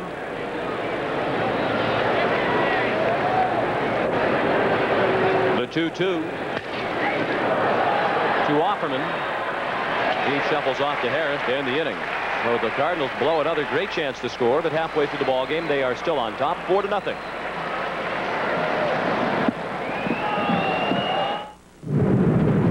Before we ship a new Buick LeSabre in San Diego, 8 p.m. Tuesday night airtime for the All-Star game. Bottom third of the order for the Dodgers. The fifth inning has rolled around, Lenny Harris the batter. Mentioned Brian Jordan in connection with Bo Jackson the last inning. Bo Jackson talking about coming back mm-hmm. next year with an artificial hip. Unbelievable. He hopes to be working out again in September with the White Sox. Brian Jordan says since it is Bo Jackson, you can't rule it out. Mark Clark in with a strike, two and one on Harris, who bounced into a 6-4-3 double play in the second. Mike Scioscia on deck, then Orel Hershiser is due. You look at what Clark did in the minors last year, and you have to be a little bit surprised at his success this year. He was five and five at Double A Arkansas with an ERA of four. Joe Torre said he came to spring training with a broken foot. Smith came into this one without an error in 42 consecutive games, and that's his second error this afternoon. Number 14, Mike And both plays rather routine, as routine as his name. The first he had to go to his left. This one he couldn't get the ball out of his glove. So two rare errors on Ozzie Smith. Hmm. Joe Torre waited a while before the game this morning and posting his lineup card, and he said he wanted to check with Ozzie Smith. He's still just back from the chicken pox, and Joe thought he might be a little bit tired with the early day game following the night game last night. But Ozzie said he was ready to go. He has committed two errors. The lead man on for the Dodgers in the fifth. Scioscia, big swing and a foul straight back to the screen. Mike was out on the fly ball to left, his first time up. Four-run lead. I don't uh, know what really the Cardinals are thinking about here. I mean, you've got Lenny Harris on first base, a left-handed batter up. I don't think you should be holding the runner on in this situation. That four-run lead, cushion enough, and I don't think the Dodgers would run anyway. When you're behind by more than two or three runs in the middle innings, you have to be very, very careful and very, very sure, and Tommy Lasorda knows that, if you're going to try to steal a base. You do open up the hole on the right side. Scioscia a bunt and a good one. Clark does not have a play. Harris to second on the bunt base hit by Mike Scioscia.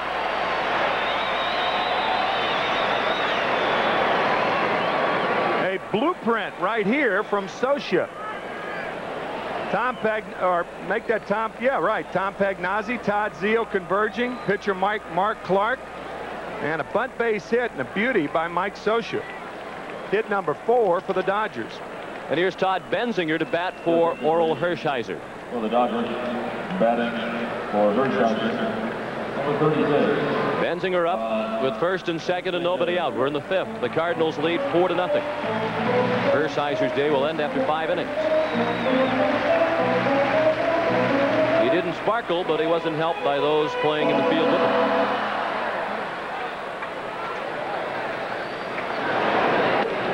Benzinger has fared well as a pinch hitter. He's 8 for 24 off the bench. A 333 pinch hit batting average with two runs driven in. Here from the left. Out of play in left. 0-2 on Benzinger. Todd was seeing a lot of playing time when Davis and Strawberry were injured. But now that they are back, he's on the bench.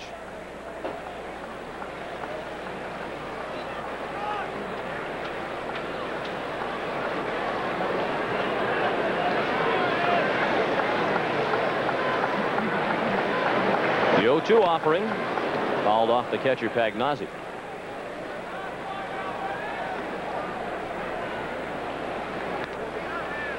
Benzinger had a pinch hit single last night in the seventh inning. It's a valuable guy to have at a ball club. Switch hitter usually puts the ball in play. He can play the outfield or first base.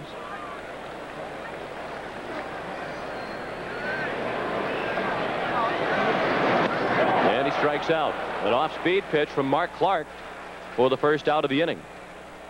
And that is the third strikeout of the afternoon for the six-foot-five right-hander. All three strikeouts have come in key situations. He got Eric Karros with a man on in the second inning and nobody out. He got Dave Hansen with two men on and two out in the fourth. And now with first and second and nobody out, he gets Benzinger.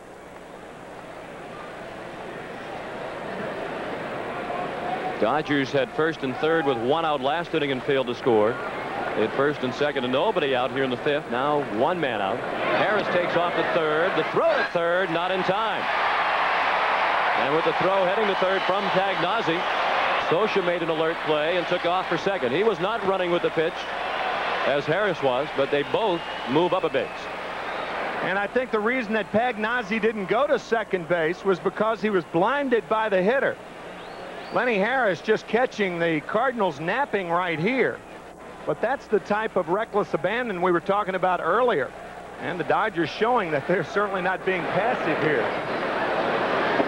You mentioned that Clark's strikeouts have come today when they've really needed them, and he mm-hmm. has shown the ability this year to bear down when the opposition has met in scoring position. He's held opposing hitters to a 121 batting average this year with men in scoring position. The opposition a combined 4 for 33 against him. 0-1, 2 Offerman is inside. Two balls and a strike on Jose, who is 0 for 2 today. He's up with one out. Lenny Harris, the runner at third, following his 10th stolen base of the year. And Scioscia is at second. It was his third steal of the year.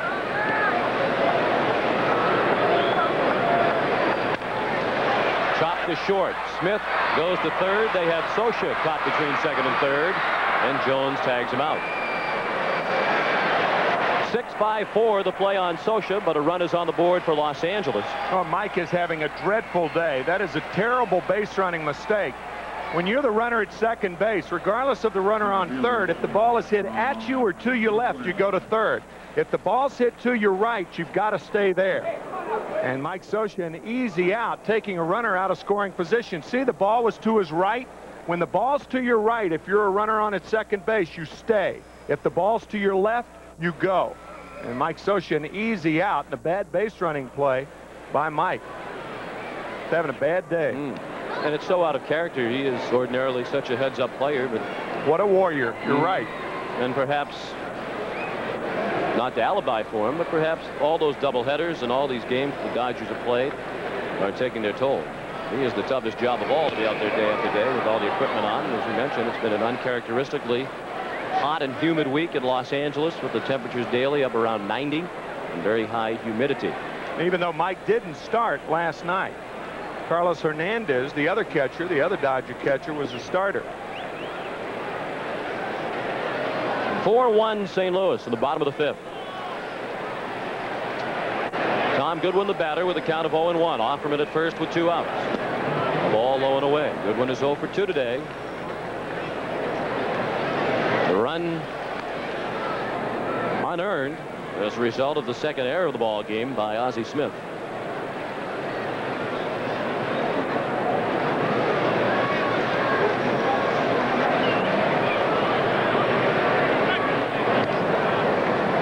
RBI for Offerman is 16th of the season. He has stolen 10 bases this year and has been thrown out four times.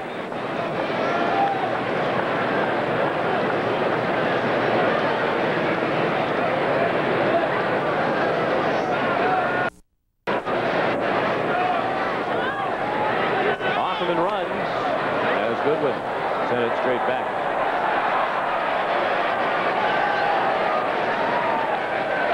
Tell you, it is so nice to see a healthy Bruce Froemming barking out the balls and strikes today. A couple of weeks ago, he went in for a routine physical in New York, and he had 96% blockage of the arteries, and he is doing fine. It's amazing how quickly one can recover in this day and age from an angioplasty. procedure. Angioplasty, right. Just a couple of weeks and he's back in action. He's lost a little weight. Says he has to stay away from liver and onions. it's not that tough. I'm sure his uh, umpiring crewmates would appreciate that too as they traveled around the National League.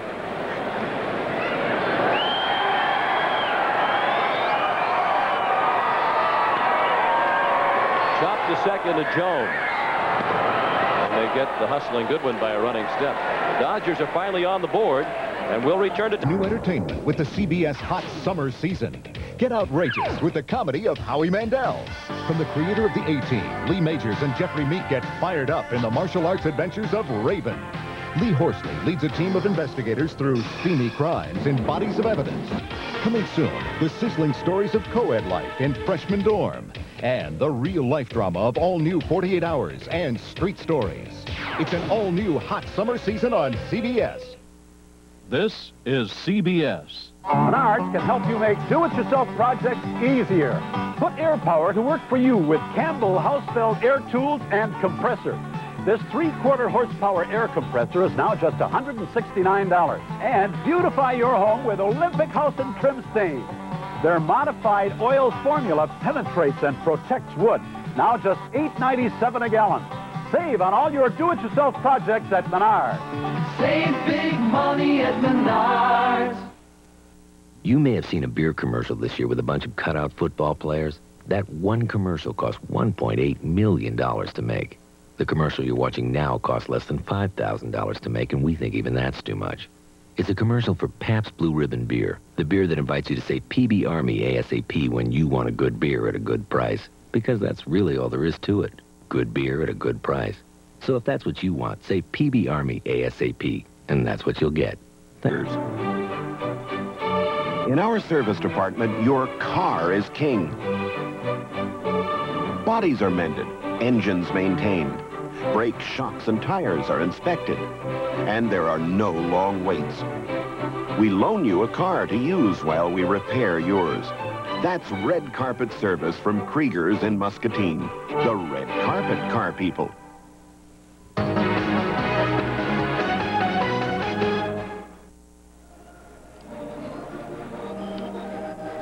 Three-run lead for the Cardinals as we go to the sixth, and there's a new man at the center of the diamond. For Los Angeles, he's 31-year-old right-hander Tim Crews. Oh, and one on the year. He recently started a game back on July 7, one of those doubleheader games, and it was his only start of the year and only his third major league start. We mentioned Greg Brock, big left-handed first baseman, formerly with the Milwaukee Brewers, and that was uh, the person for whom Tim was traded. And he has done a yeoman job for the Dodgers over the years. The trade was before Greg Brock. Tom Pagnozzi greets Tim Crews. Pagnozzi belted a two-run double into the left field corner his first time up. Bounced back to the mound against Hershiser in the fourth. First pitch from Crews is a strike. Crews is from Tampa. He's six feet, 195 pounds.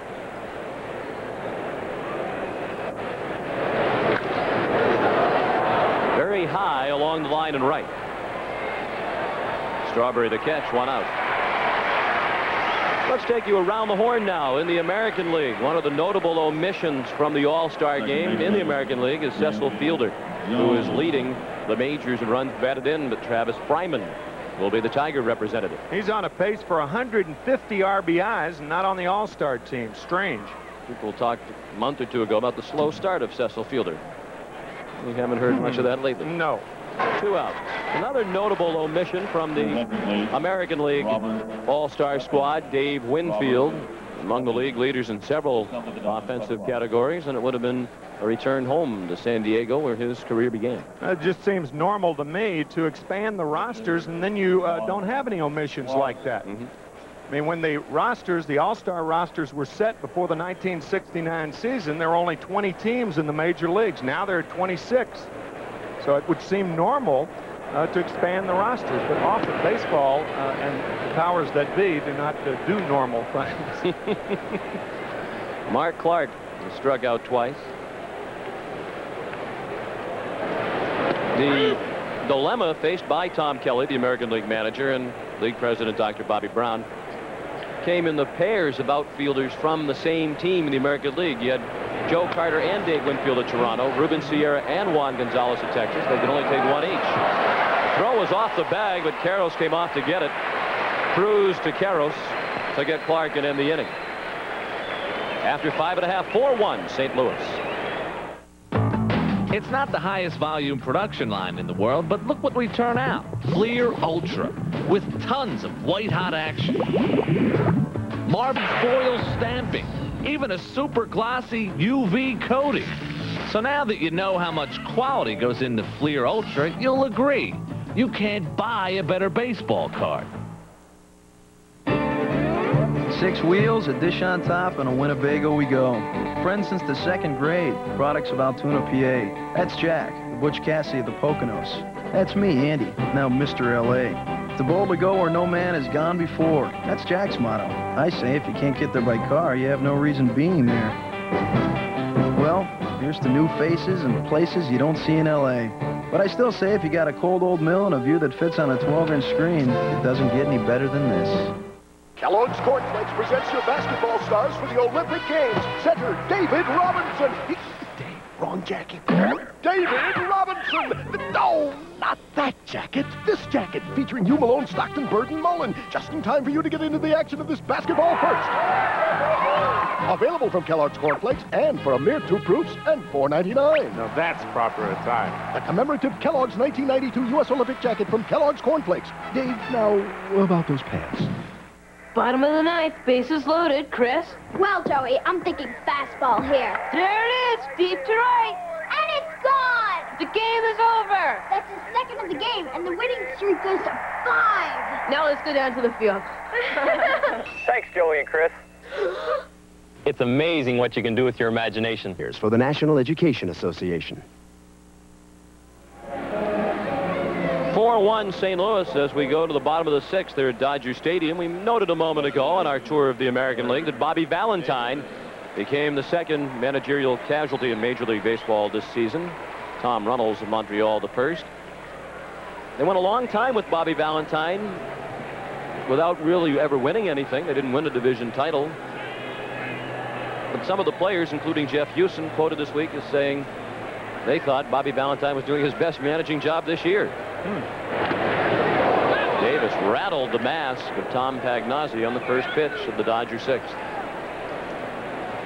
The Texas Rangers entering today's play five and a half games behind the Minnesota Twins. They're six games over 500 in the American League West, so they still have a, a very, very good shot at the title if uh, Oakland and Minnesota slows down and the White Sox don't keep their surge going.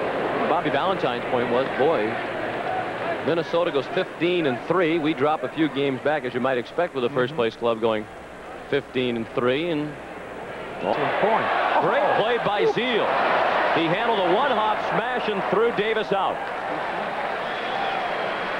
in a game that has featured some very sloppy fielding on both sides. That is, without argument, the play of the day. Sparkling play by Todd Zeile. You folks at home can be the third baseman and realize why they call it the reaction corner. Hot corner, whatever you want to call it. That is a terrific play by Todd Zeile. Only four players have caught 100 games during a season and played third base over 100 games. Duke Farrell, Johnny Bench, and Joe Torre, and now Todd Zeile.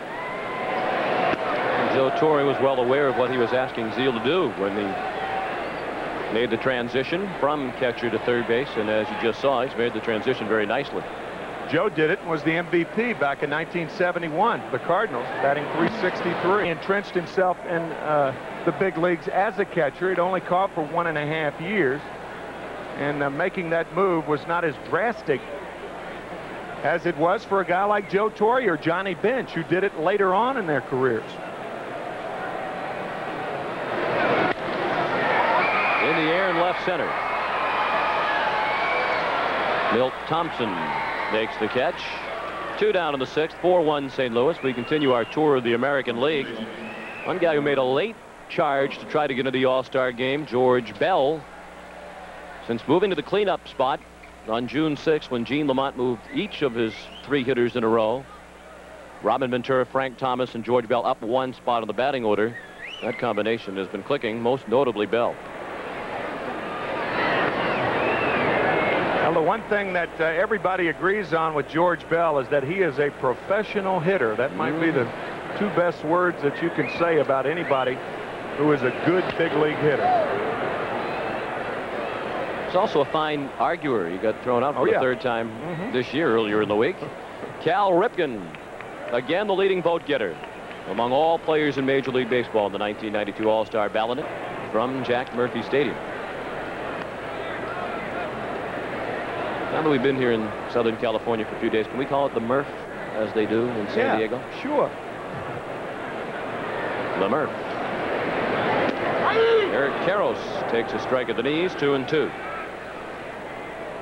He's 0 for 2 today. Should have said, sure, dude.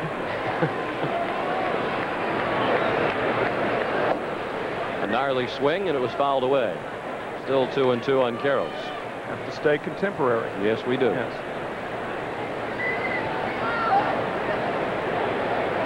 I was wondering why I saw you watching Wayne's World again last night in the hotel. And the count is full.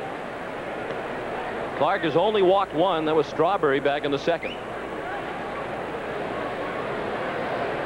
Joe Torre said with the exception of one start two weeks ago against the Mets, Clark has been getting progressively better with each start throughout this season, and he's continuing that trend again today. That's the second free pass he has issued. He should be working on a shutout. The one run was unearned. That's right. And we talked earlier uh, in our opening as you look at Joe Torre at 26 over 17 games now. But the key point here is the last time any team allowed so few runs over 16 games was back in 1988. The Dodgers did it, and that was during Orel Hershiser's 59 consecutive scoreless inning streak. That was 23 runs over 16 games for the Dodgers in September of 88.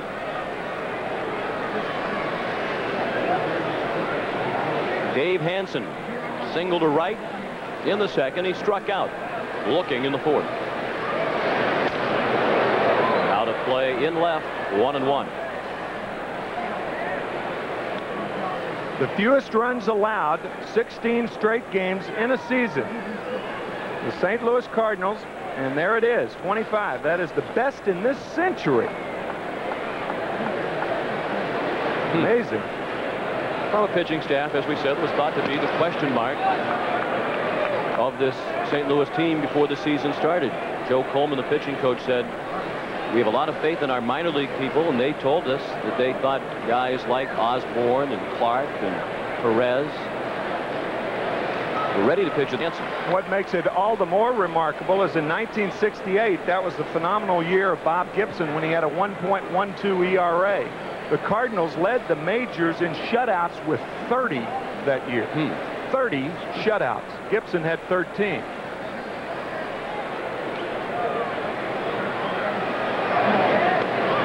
The ball low, and all of a control has deserted him. Now we'll bring the tying run to the plate with two outs in the sixth, and that has pitching coach Joe Coleman on the phone to the bullpen for the first time today.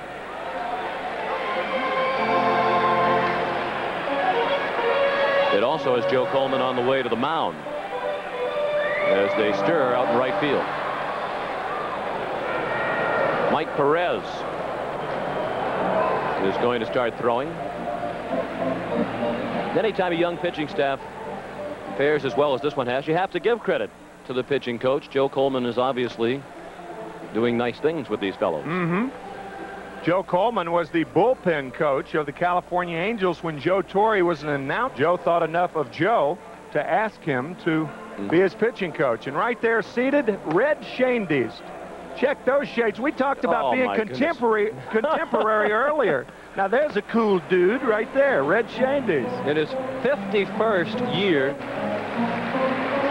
in professional baseball, his 48th consecutive year in a major league uniform as a player, manager, and coach, and keeping right up with the fashion. Not only wearing those glasses, but the cardinal colored glasses. Yeah. Old Rojo.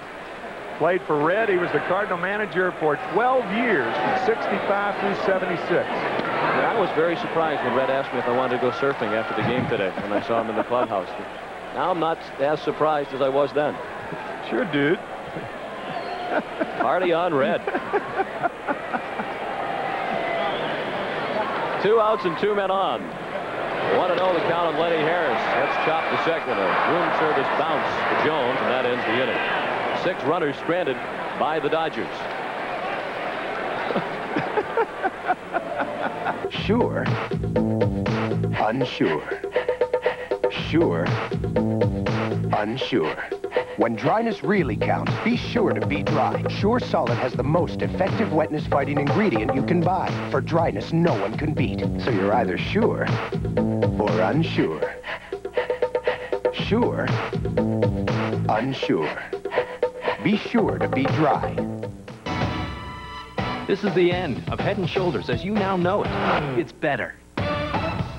Now it gets to 10 times more of the places dandruff starts to help prevent flakes. New Head & Shoulders. This could be the end of flakes. Trouble with heartburn? Well, you could change your diet. Or change your job. Maybe change your lifestyle. Or better still, reach for Rolaids. It works fast to absorb excess stomach. With Rolaids, Rolaids spells relief. Elmer, summer I want a new car. We're not new car kind of people. A Toyota Corolla with all kinds of fancy options. We're not fancy options kind of people. But now we can save big on air conditioning, AM, FM stereo cassette, power windows and door locks, the whole shebang. Save up to $1,100 on the Toyota Corolla LE Extra Value Package. Guess we're fancy options kind of people now. Change is good. I love what you do for me, CBS Sports presents Major League Baseball. Today's game is brought to you by Toyota, reminding you to always buckle up. Do it for those who love you. Rolaids. Rolaids spells 100% relief. And by new improved head and shoulders, now it works even better to prevent flakes.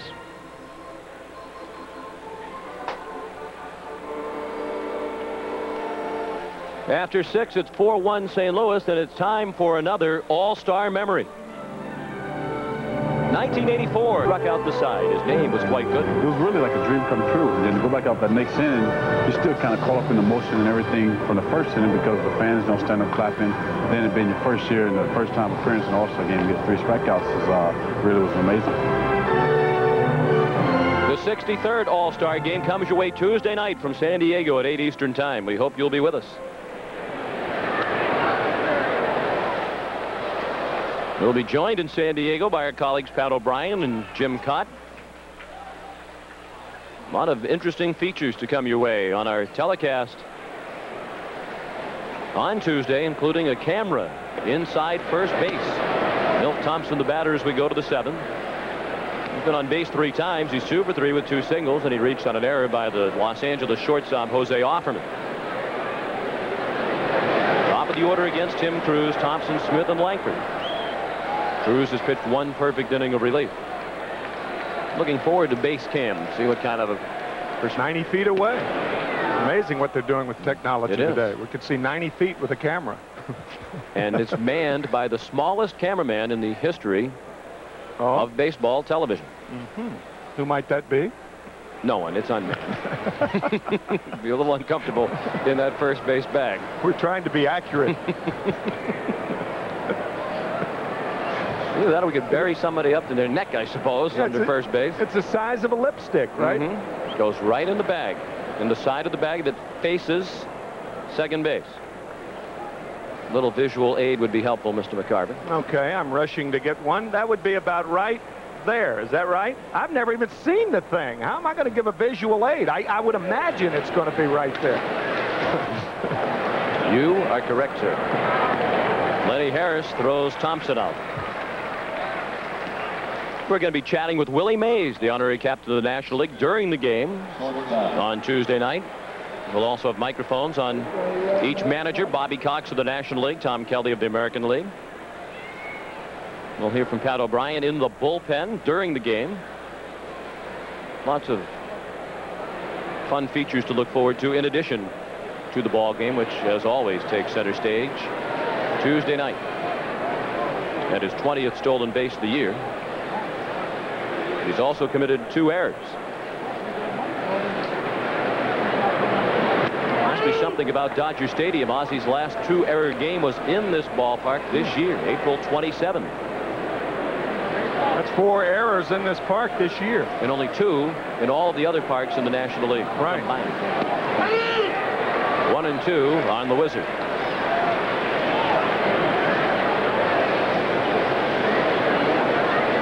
Four one St. Louis at the top of the seventh. One out. The bases are clear. And Smith is called out on strikes. Two outs in the seventh. That's the first strikeout for Crews, who has retired all five Cardinal batters he has faced today. Ray Lankford. And Ray Lankford strides to the plate. He's 0 for 3. Everybody thinks uh, Southern California is the uh, bastion of power as far as Major League Baseball players are concerned, and certainly a lot do come from Southern California, but thinking of Gooden uh, and the spot we showed uh, about All-Star memories, Tim Crews from Tampa, Fred McGriff from Tampa, Wade Boggs from Tampa, two starters in the All-Star game, but that Tampa area, a, uh, another fertile area for Major League players.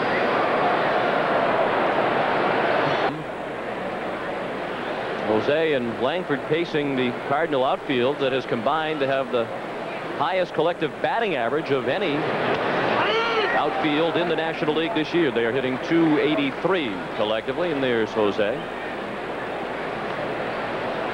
It's his right thumb that he injured in the first game of this series on Thursday night, sliding headfirst into the second base bag. Up and in on Lankford, two balls and two strikes.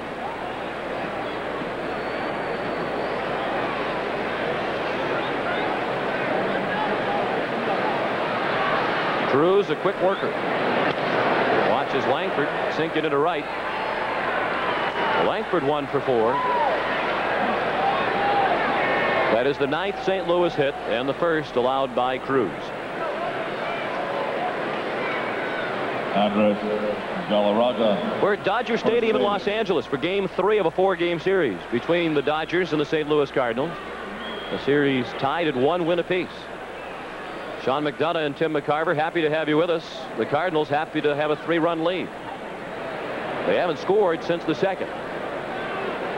They scored once in the first, three times in the second. The Dodger run came in the fifth.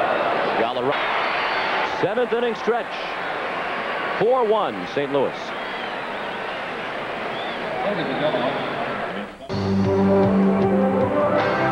Toyota proudly presents All Around Champions. Jim Abbott is special, not because he overcame his own disabilities, but because he coaches disabled youngsters to realize they're just kids. By playing ball with them, they learn to set goals, accomplish deeds, and have fun along the way. In return, their smiles are what make Jim Abbott feel truly special. Toyota is pleased to support Jim by donating $1,000 to Challenger Division Baseball. It's hard to describe when you hold your child for the very first time. You feel that little hand. You hear that little cry. You realize you're responsible for someone else. It changes your priorities. It even changes what you drive. The 1992 Toyota Previa, along with standard driver's side airbag and optional anti-lock brakes. It's the only van to meet all passenger car federal motor vehicle safety standards. Toyota Previa. Changes everything.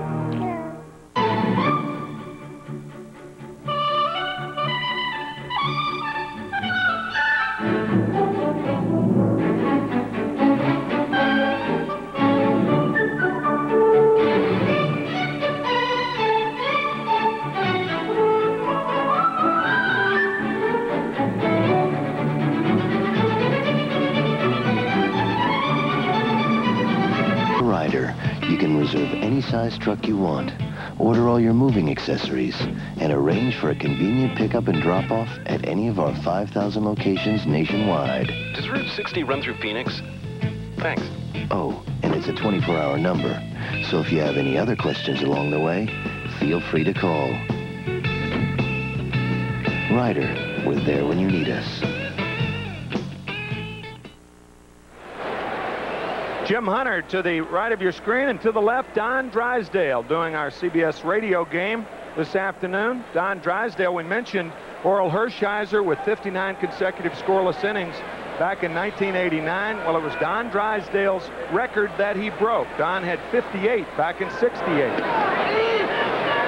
We should note that that was not Jim Catfish Hunter. No. Our very No. own Jim Hunter of CBS. And that was Norman Bayer in the stylish shirt in the middle, their producer. Mike Scioscia, the batter against Mark Clark. Allowed only four hits through six innings. The Dodger offensive woes continue. Scioscia had the last hit for the Dodgers, a bunt base hit in the fifth inning.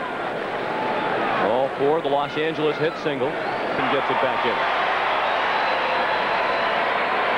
in. The Dodgers have had a base runner in every inning, at least one in every inning except the third. For the Dodgers, batting for Crews. Hmm. Pitcher Crews, the next scheduled hitter, but Mitch Webster is at the plate to bat for him. Crews pitch two shutout innings. Webster, a switch hitter, batting 238 overall. Jay Howell be the new pitcher. When we go to the top of the eighth, we're in the bottom of the seventh. St. Louis 4, Los Angeles 1.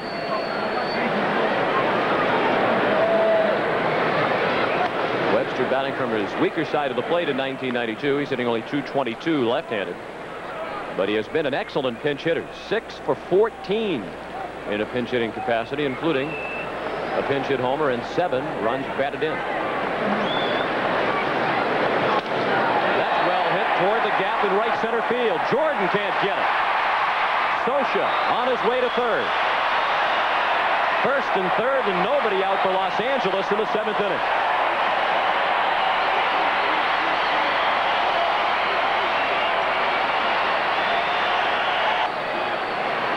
To right center field. I think Webster in a normal game, a tie game or one-run game, would probably try to stretch this into a double.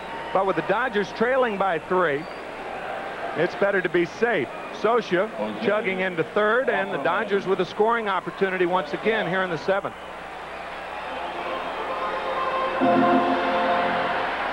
They've had as many good chances as the Cardinals to score runs, but St. Louis did a better job early in the ball game of taking advantage of its opportunities. And Joe Torre is going to make a pitching change. So another solid outing for Mark Clark. The tying run is coming to the plate for the Dodgers when we come back. Last year's game MVP, Cal Ripken, Bash brother Mark McGwire, Seattle Slugger Ken Griffey Jr., World Series hero Kirby Puckett, the Battle of the Bats, the All-Star Game. This is how it starts.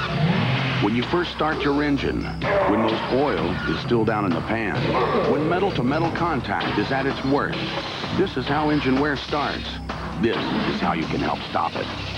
With new STP engine treatment. It actually bonds to your internal engine parts. Protect engine treatment. Folks in these parts think Tom Lawton is the best thing to ever turn a wrench. But back east, they'll put their money down on the guys at McClellan's. It seems in every town there's always one place that does a little bit better job fixing your car. And it seems the things they all have in common are great mechanics, great service, and Napa parts. Look for the sign of quality car repair. Napa. Trouble with heartburn? Well, you could change your diet. Or change your job. Maybe change your lifestyle. Or better still, reach for Rolaids. It works fast to absorb excess stomach acid and bring 100% relief to millions. So maybe you can't change your life, but you can get relief with Rolaids. Rolaids spells relief. This relief break is sponsored by Rolaids. Last 19 innings, but that streak is in jeopardy as he leaves behind him runners at first and third in the Los Angeles seventh. And nobody out.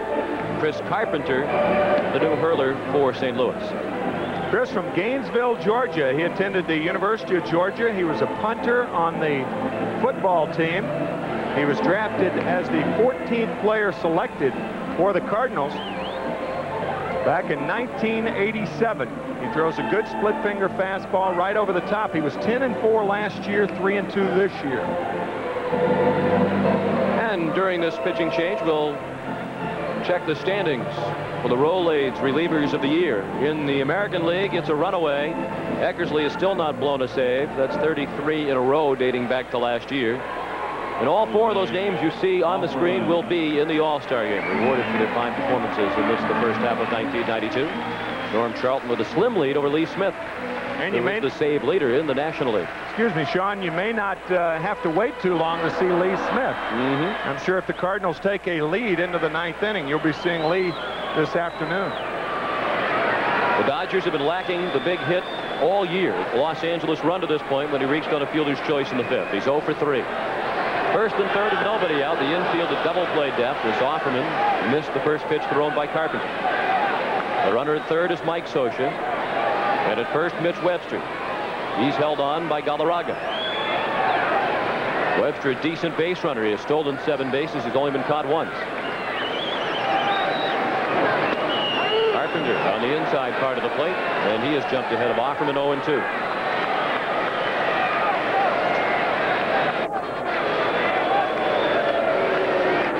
At the plate. Tom Goodwin is on deck.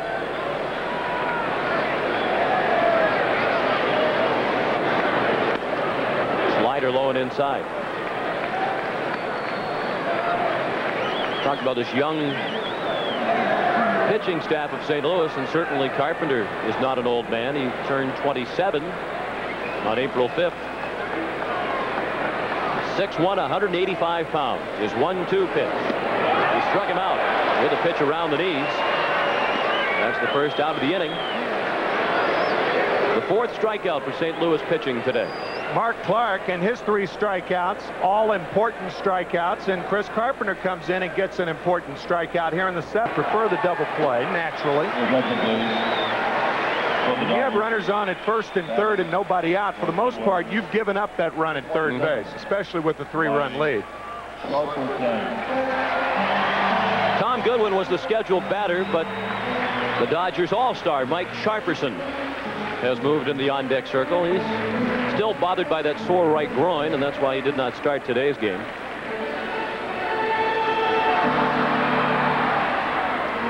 He'll be followed by Eric Davis. Sharperson's all-star numbers a 328 batting average. Two homers, 27 runs batted in, and he's fared well as a pinch hitter. 5 for 18.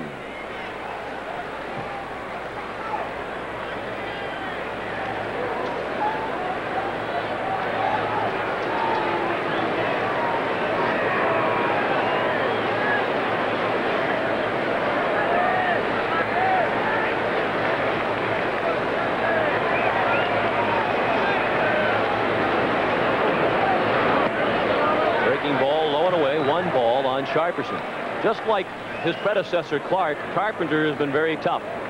When the opponents have had runners in scoring position, they've hit only 145 against Cris Carpenter. Something has to give as this year Mike Sharperson is hit 339 with men in scoring position.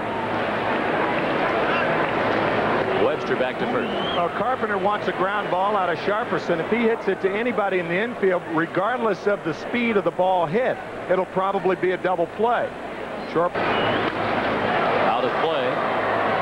Into the crowd of 34,216 today at Dodger Stadium. And just as the crowd was late arriving, the blimp is a little bit late in arriving because of the weather.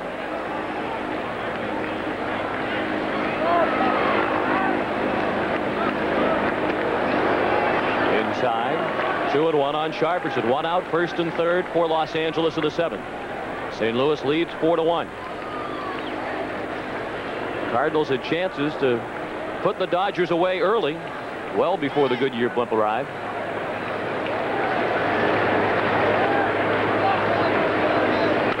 That's a bullet foul. Sharperson turned on it and smoked it on a hop into the stands and left.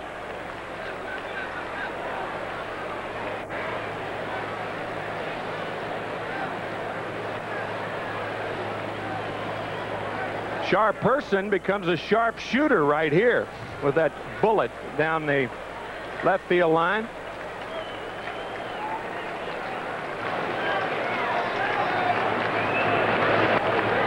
fought off a tough slider from Carpenter. There is no truth to the report that Sharp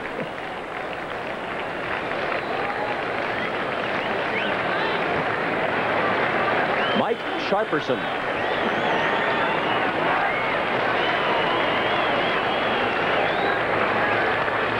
Fouls another one away. Two and two.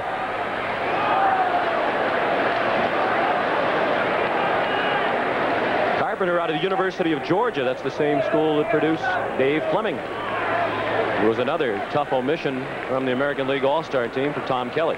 10 and 3 for the Seattle Mariners, and you can't make the All-Star team. Boy, that was tough. American League with only one left-hander, Mark Langston, the only left-hander on the staff. Martinez and Ken Griffey Jr. will represent Seattle. They got a perfect double play ball. Smith stepped on the bag and doubled up Sharperson. And the Dodgers do it again. They have a great chance to score and fail to do so after 7 4-1 St. Louis. Aqua Rush,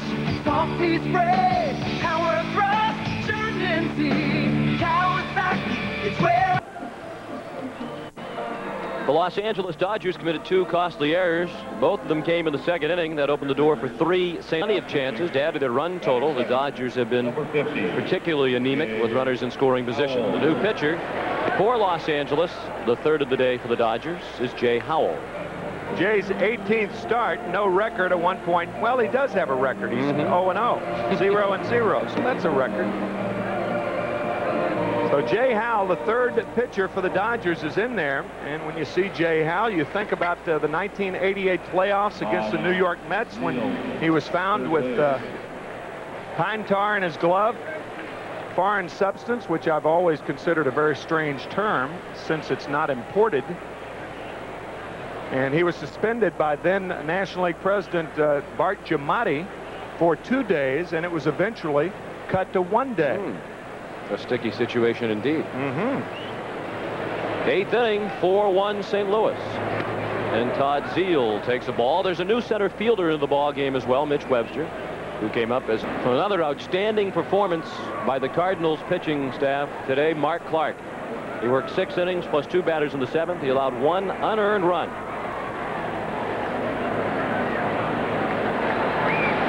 Gave up six hits. He walked three and struck out three. There's a base hit just past the lunge of Jose Offerman. Zeile continues to sizzle. This copyrighted telecast is presented by authority of Major League Baseball and may not be reproduced or retransmitted in any form without the express written consent of Major League Baseball. Right field. We particularly suggest that you pay attention to that note today because our new boss, Rick Gentile, Senior Vice President in charge of sports production at CBS Sports, is here today, and he keeps hmm. track of such things. Welcome, Rick. It's the first time we've had him one of our games in his new capacity. and We look forward to being with all of our CBS friends in San Diego. We'll head down right after the ball game for the Midsummer Classic Tuesday night. Brian Jordan has singled and doubled and scored a run.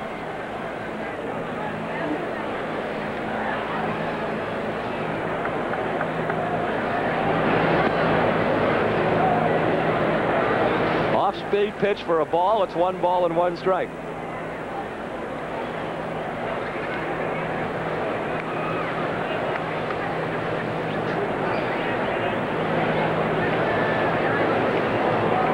that that's all Jay Howell was remembered for because he has had 16 saves for the Dodgers over the last two years. He set a Dodger record with 28 saves back in 1989, the year after that incident. Little lob off first, caught by Karros for the first out of the inning. We're in the eighth, and St. Louis leads four to one. One out and a runner at first. Jordan now two for four.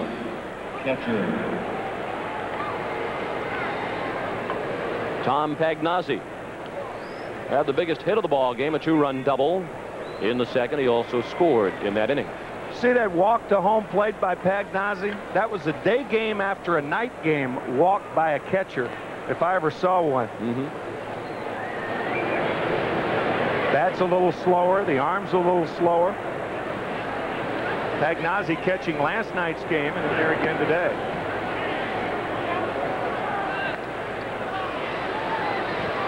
And he'll be in San Diego Tuesday night. We'll see some of the best arms among catchers in baseball. See this walk? Now, this is a day game after a night game walk by a catcher to the plate. Always tell those. The runner goes as Pagnozzi fouled it away. Zeile was off with the pitch. And you notice uh, the first time up, Pagnozzi pulling a ball down the third baseline, and then he grounded back to the pitcher, and then he flied out to right field, and then he hit that ball to the right side. That, and really regardless of your age, it becomes more difficult to, to stay strong. Zeile runs again. Pagnozzi lined it to short. And it's an easy double play. Offerman elected not to throw across the diamond. Double play, six unassisted. That ends the inning. We go to the bottom of the eighth at Chavez Ravine, 4-1 Cardinals. Spending a lot of time this afternoon talking about those you will see Tuesday night in the All-Star game. Here are some of the notable omissions from the National League All-Star roster. Several Expos that didn't make it could make an argument, not just to Shields and Hill, but also Marquis Grissom. Andre Dawson having an outstanding year for the Cubs, and Eddie Murray. Tied for second place with Darren Daulton behind Gary Sheffield. Gary Sheffield, the fine third baseman with the Padres, will make it to the All-Star team. For the first time, Sheffield has driven in 60 runs this year, two more than Murray and Daulton. Time running out of the Dodgers here this afternoon. Eric Davis. Single to center in the fourth. His only hit in three trips. Darryl Strawberry and Eric Karros to follow against reliever Cris Carpenter.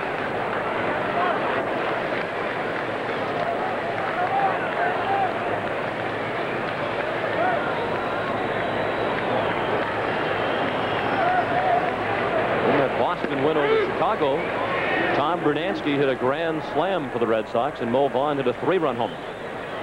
California break up the Angels. Their second straight win after 11 consecutive losses, and Dennis Eckersley had his 30th save in Oakland's win at Toronto. And we begin with the man most expect will be the starter for the National League Tuesday night for the second straight year, Tom Glavine. Leads the National League in shutouts, complete games, wins, and he will be fresh, and one would assume that he would have to be the starter Mhm. for the National League. Terrible. Darryl Strawberry, the batter. He has walked, singled, and fly to left.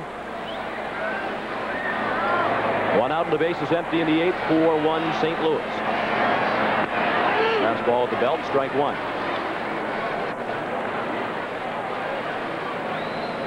The only other pitcher you could make an argument for is the Cardinals' Bob Tewksbury. Mm-hmm. Strawberry down to Galarraga, on to Carpenter. 3-1 the play, two outs in the eighth. You mentioned that Greg Swindell was not selected to the team, and he was very disappointed, and you can understand why. A lot of things uh, added to his disappointment. I mean, it's his first time in the National League. Coming over an 8 and 2 record, a 2.94, an excellent ERA, and look at the walks. Only 24 walks in 128 and two-thirds innings. Cincinnati being in first place, of course. Tom Kelly, a little myth that the Cleveland Indians, uh, with three representatives. Eros, the batter.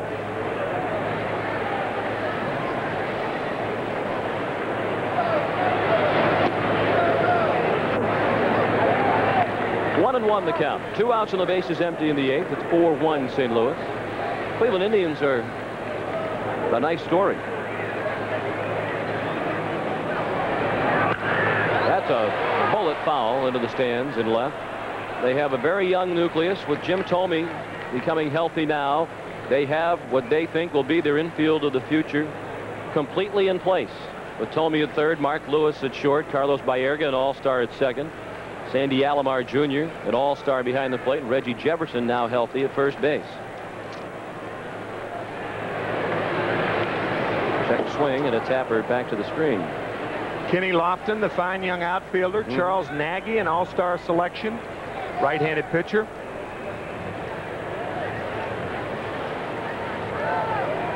In that infield, Jim Thome, 21 years old. Lewis, 22 years old. Baerga and Jefferson, each 23.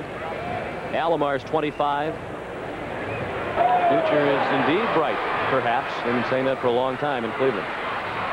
Lankford the catch. One, two, three go the Dodgers in the eighth, and we head to the ninth with the Cardinals on top, four to one.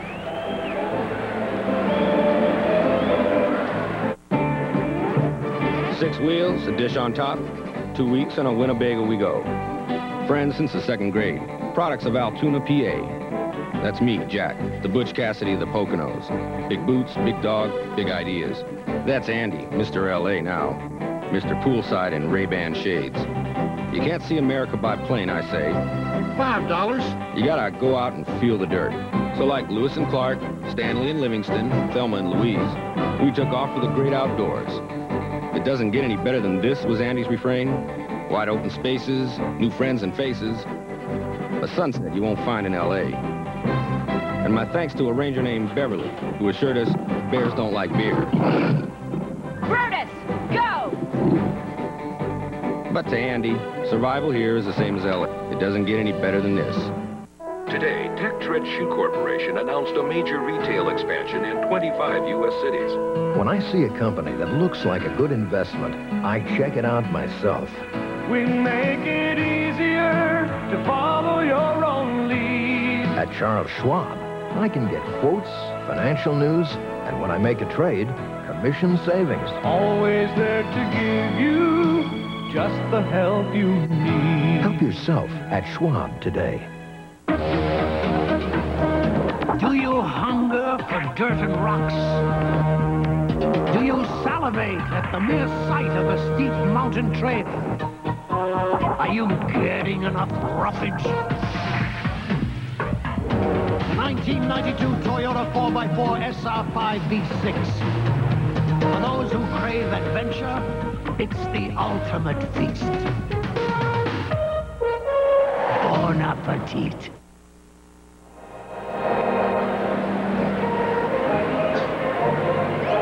Led by Eric Davis and Darryl Strawberry, the Dodgers had high hopes for this 1992 season. They trail 4 to 1 as we go to the ninth this afternoon. One year ago today, the Dodgers were in first place in the National League West by five games over Cincinnati. They came into action today in last place in the West, 14 games behind the Reds. And the way they're playing, Tim, with very little hope of making the kind of near miracle comeback it would take to win this division.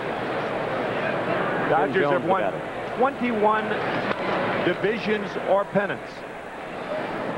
One out is Harris, retired. Seven and a half game deficit and won a pennant or a division Mm-hmm. in their history.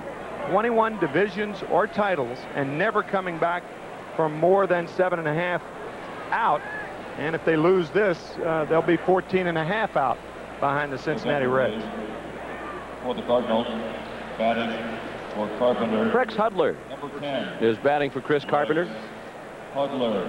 Hudler, one of the many Cardinals who has spent time on the disabled list this year. He's only been to the plate 57 times in all with 12 hits. And as you saw, just one for 10 as a pinch hitter, but that was a pinch hit home run.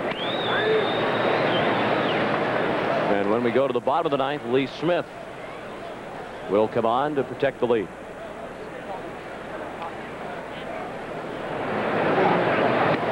Howell misses high. Hudler will be followed by Milt Thompson. Cardinals have not scored since the second.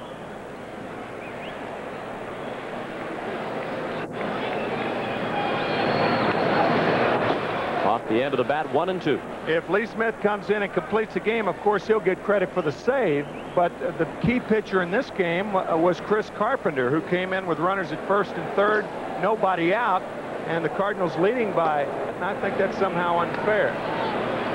Two innings of work for Cris.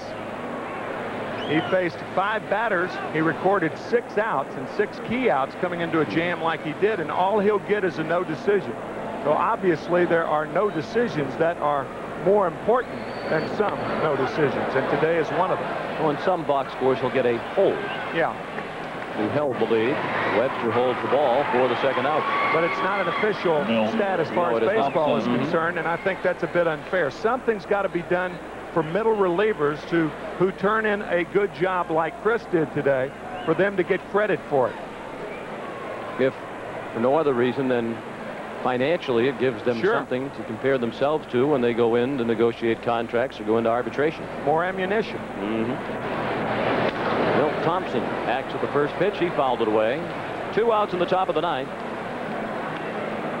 In the bottom of the ninth, against Lee Smith, the Dodgers have Dave Hansen, Lenny Harris, and Mike Scioscia scheduled to hit. Slowly down the line. Could be a tough play. Howell couldn't get it. And Milt Thompson has his third hit of the afternoon. Of Milt Thompson, both appear to be all right. Thompson, however, appears to have gotten the worst of the deal. Watch how tries to dive, and now he comes down as Thompson rolls over. Jay coming down right on the right knee of Milt Thompson. That could be something that doesn't show up in today's game, but tomorrow might be very, very sore. There it is there. Pounding that right knee into the ground. Fortunately, it wasn't turned to where it could be twisted. It looked like the knee went straight into the ground. And uh, for that, I think Milt should be thankful.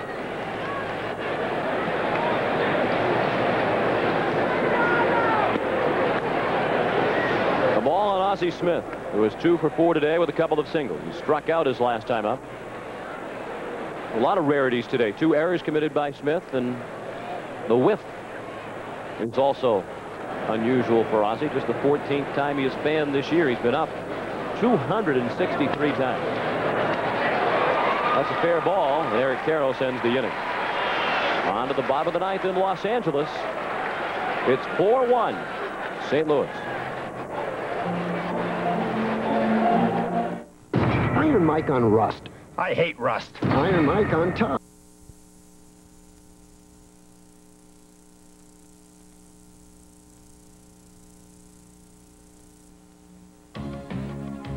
Sports Center is brought to you by Smooth Busch Beer and easy drinking Busch Lights. And by Ecto. Last call for the Dodgers as they get ready to bat in the ninth, trailing 4 to 1. It was a most eventful week in Major League Baseball, and started with the commissioner's decision that in the best interest of baseball, he had ordered realignment of the National League.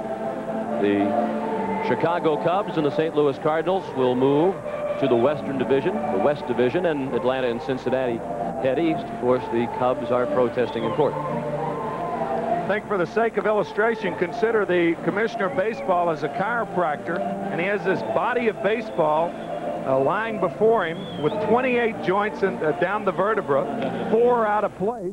Give it one little snap, and only three pop back into place. The CC joints out of line. Malpractice. Spoken like a man who has endured that pain in the past. that is correct. The Cubs more of a pain in Fay Vincent's neck than a pain in the back at the moment. And Lee Smith hoping to be a thorn in the side of the Dodgers as we go to the bottom of the ninth. He's trying to bring up his league leading 23rd save. The last time uh, we saw the big right-hander from Jamestown, Louisiana, 6'6", 245, he was throwing a lot of breaking balls, a lot of sliders. And uh, the next day in the paper, this was a couple of weeks ago, he had complained about tenderness in his right shoulder. So we will see today how Lee Smith goes at the Dodgers hitters. Will it be with fastballs or breaking balls? Another change for the Cardinals. Bernard Gilkey has entered the ball game in left field.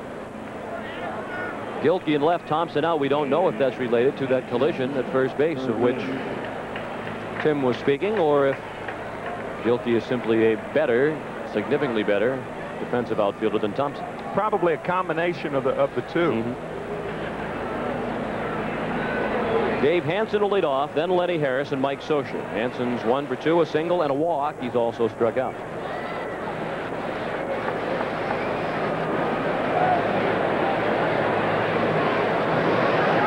This is one of those borderline saves. Smith did start with a slider.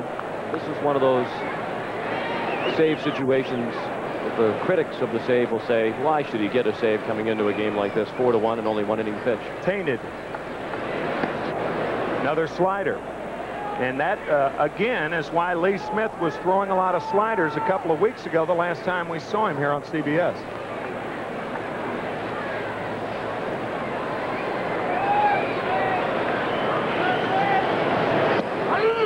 Three in a A strike.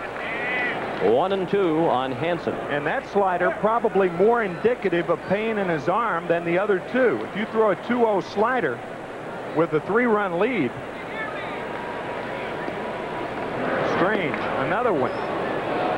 Mid-90s thrower, but hmm. the last couple of times that we have seen him, that is not what he has been. That's well hit. Another breaking ball, but it's handled in center by Ray Lankford.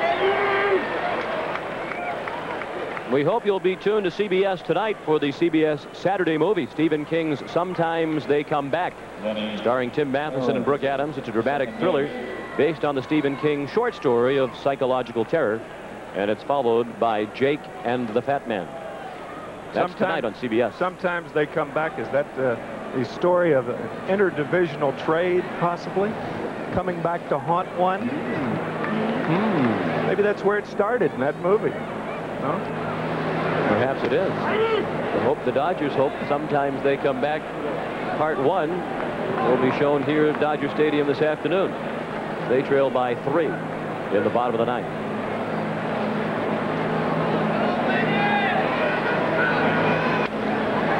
Lenny Harris sends it foul. 0-2 the count. 4-1 St. Louis. One out of the base is empty in the bottom of the ninth. Cardinals with a win today would push their record on this road trip to 7 and 3. Tim, this is the third time we've seen the Cardinals this year, and the pitching is demonstrating that its performances have been no fluke, and if it continues to be that way on the mound, you have to like these guys and their chances of hanging in there with Pittsburgh the entire way. Mm-hmm. Montreal, too. Montreal actually a half a game in front of the Cardinals going into today's play. I think the National League East has proven it is uh, probably the worst division in baseball as far as their overall talent is concerned. Some people call it parity. I just think it's the weakest division uh, in baseball. Base hit.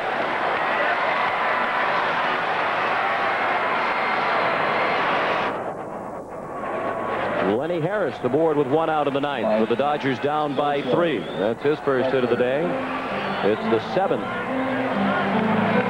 Los Angeles hit. They've had a runner on in every inning except the third and the eighth. But they've scored only once. Here's Mike Scioscia.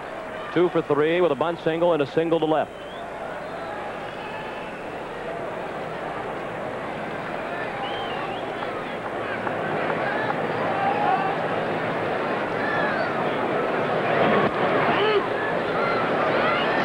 Smith not throwing hard and with a strike to Scioscia.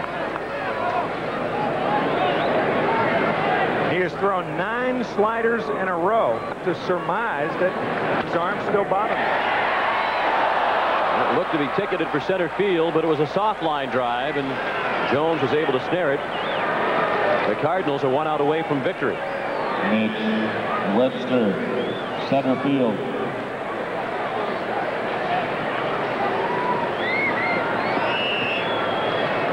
Mitch Webster trying to keep Los Angeles alive. He came up as a pinch hitter in the seventh and singled to right center.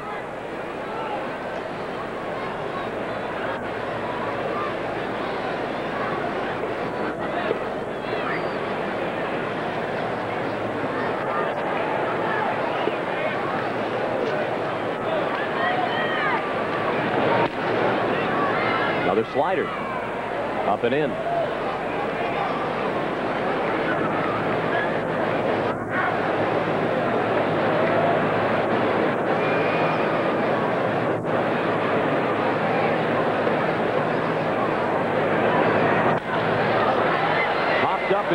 Up in. Langforders there.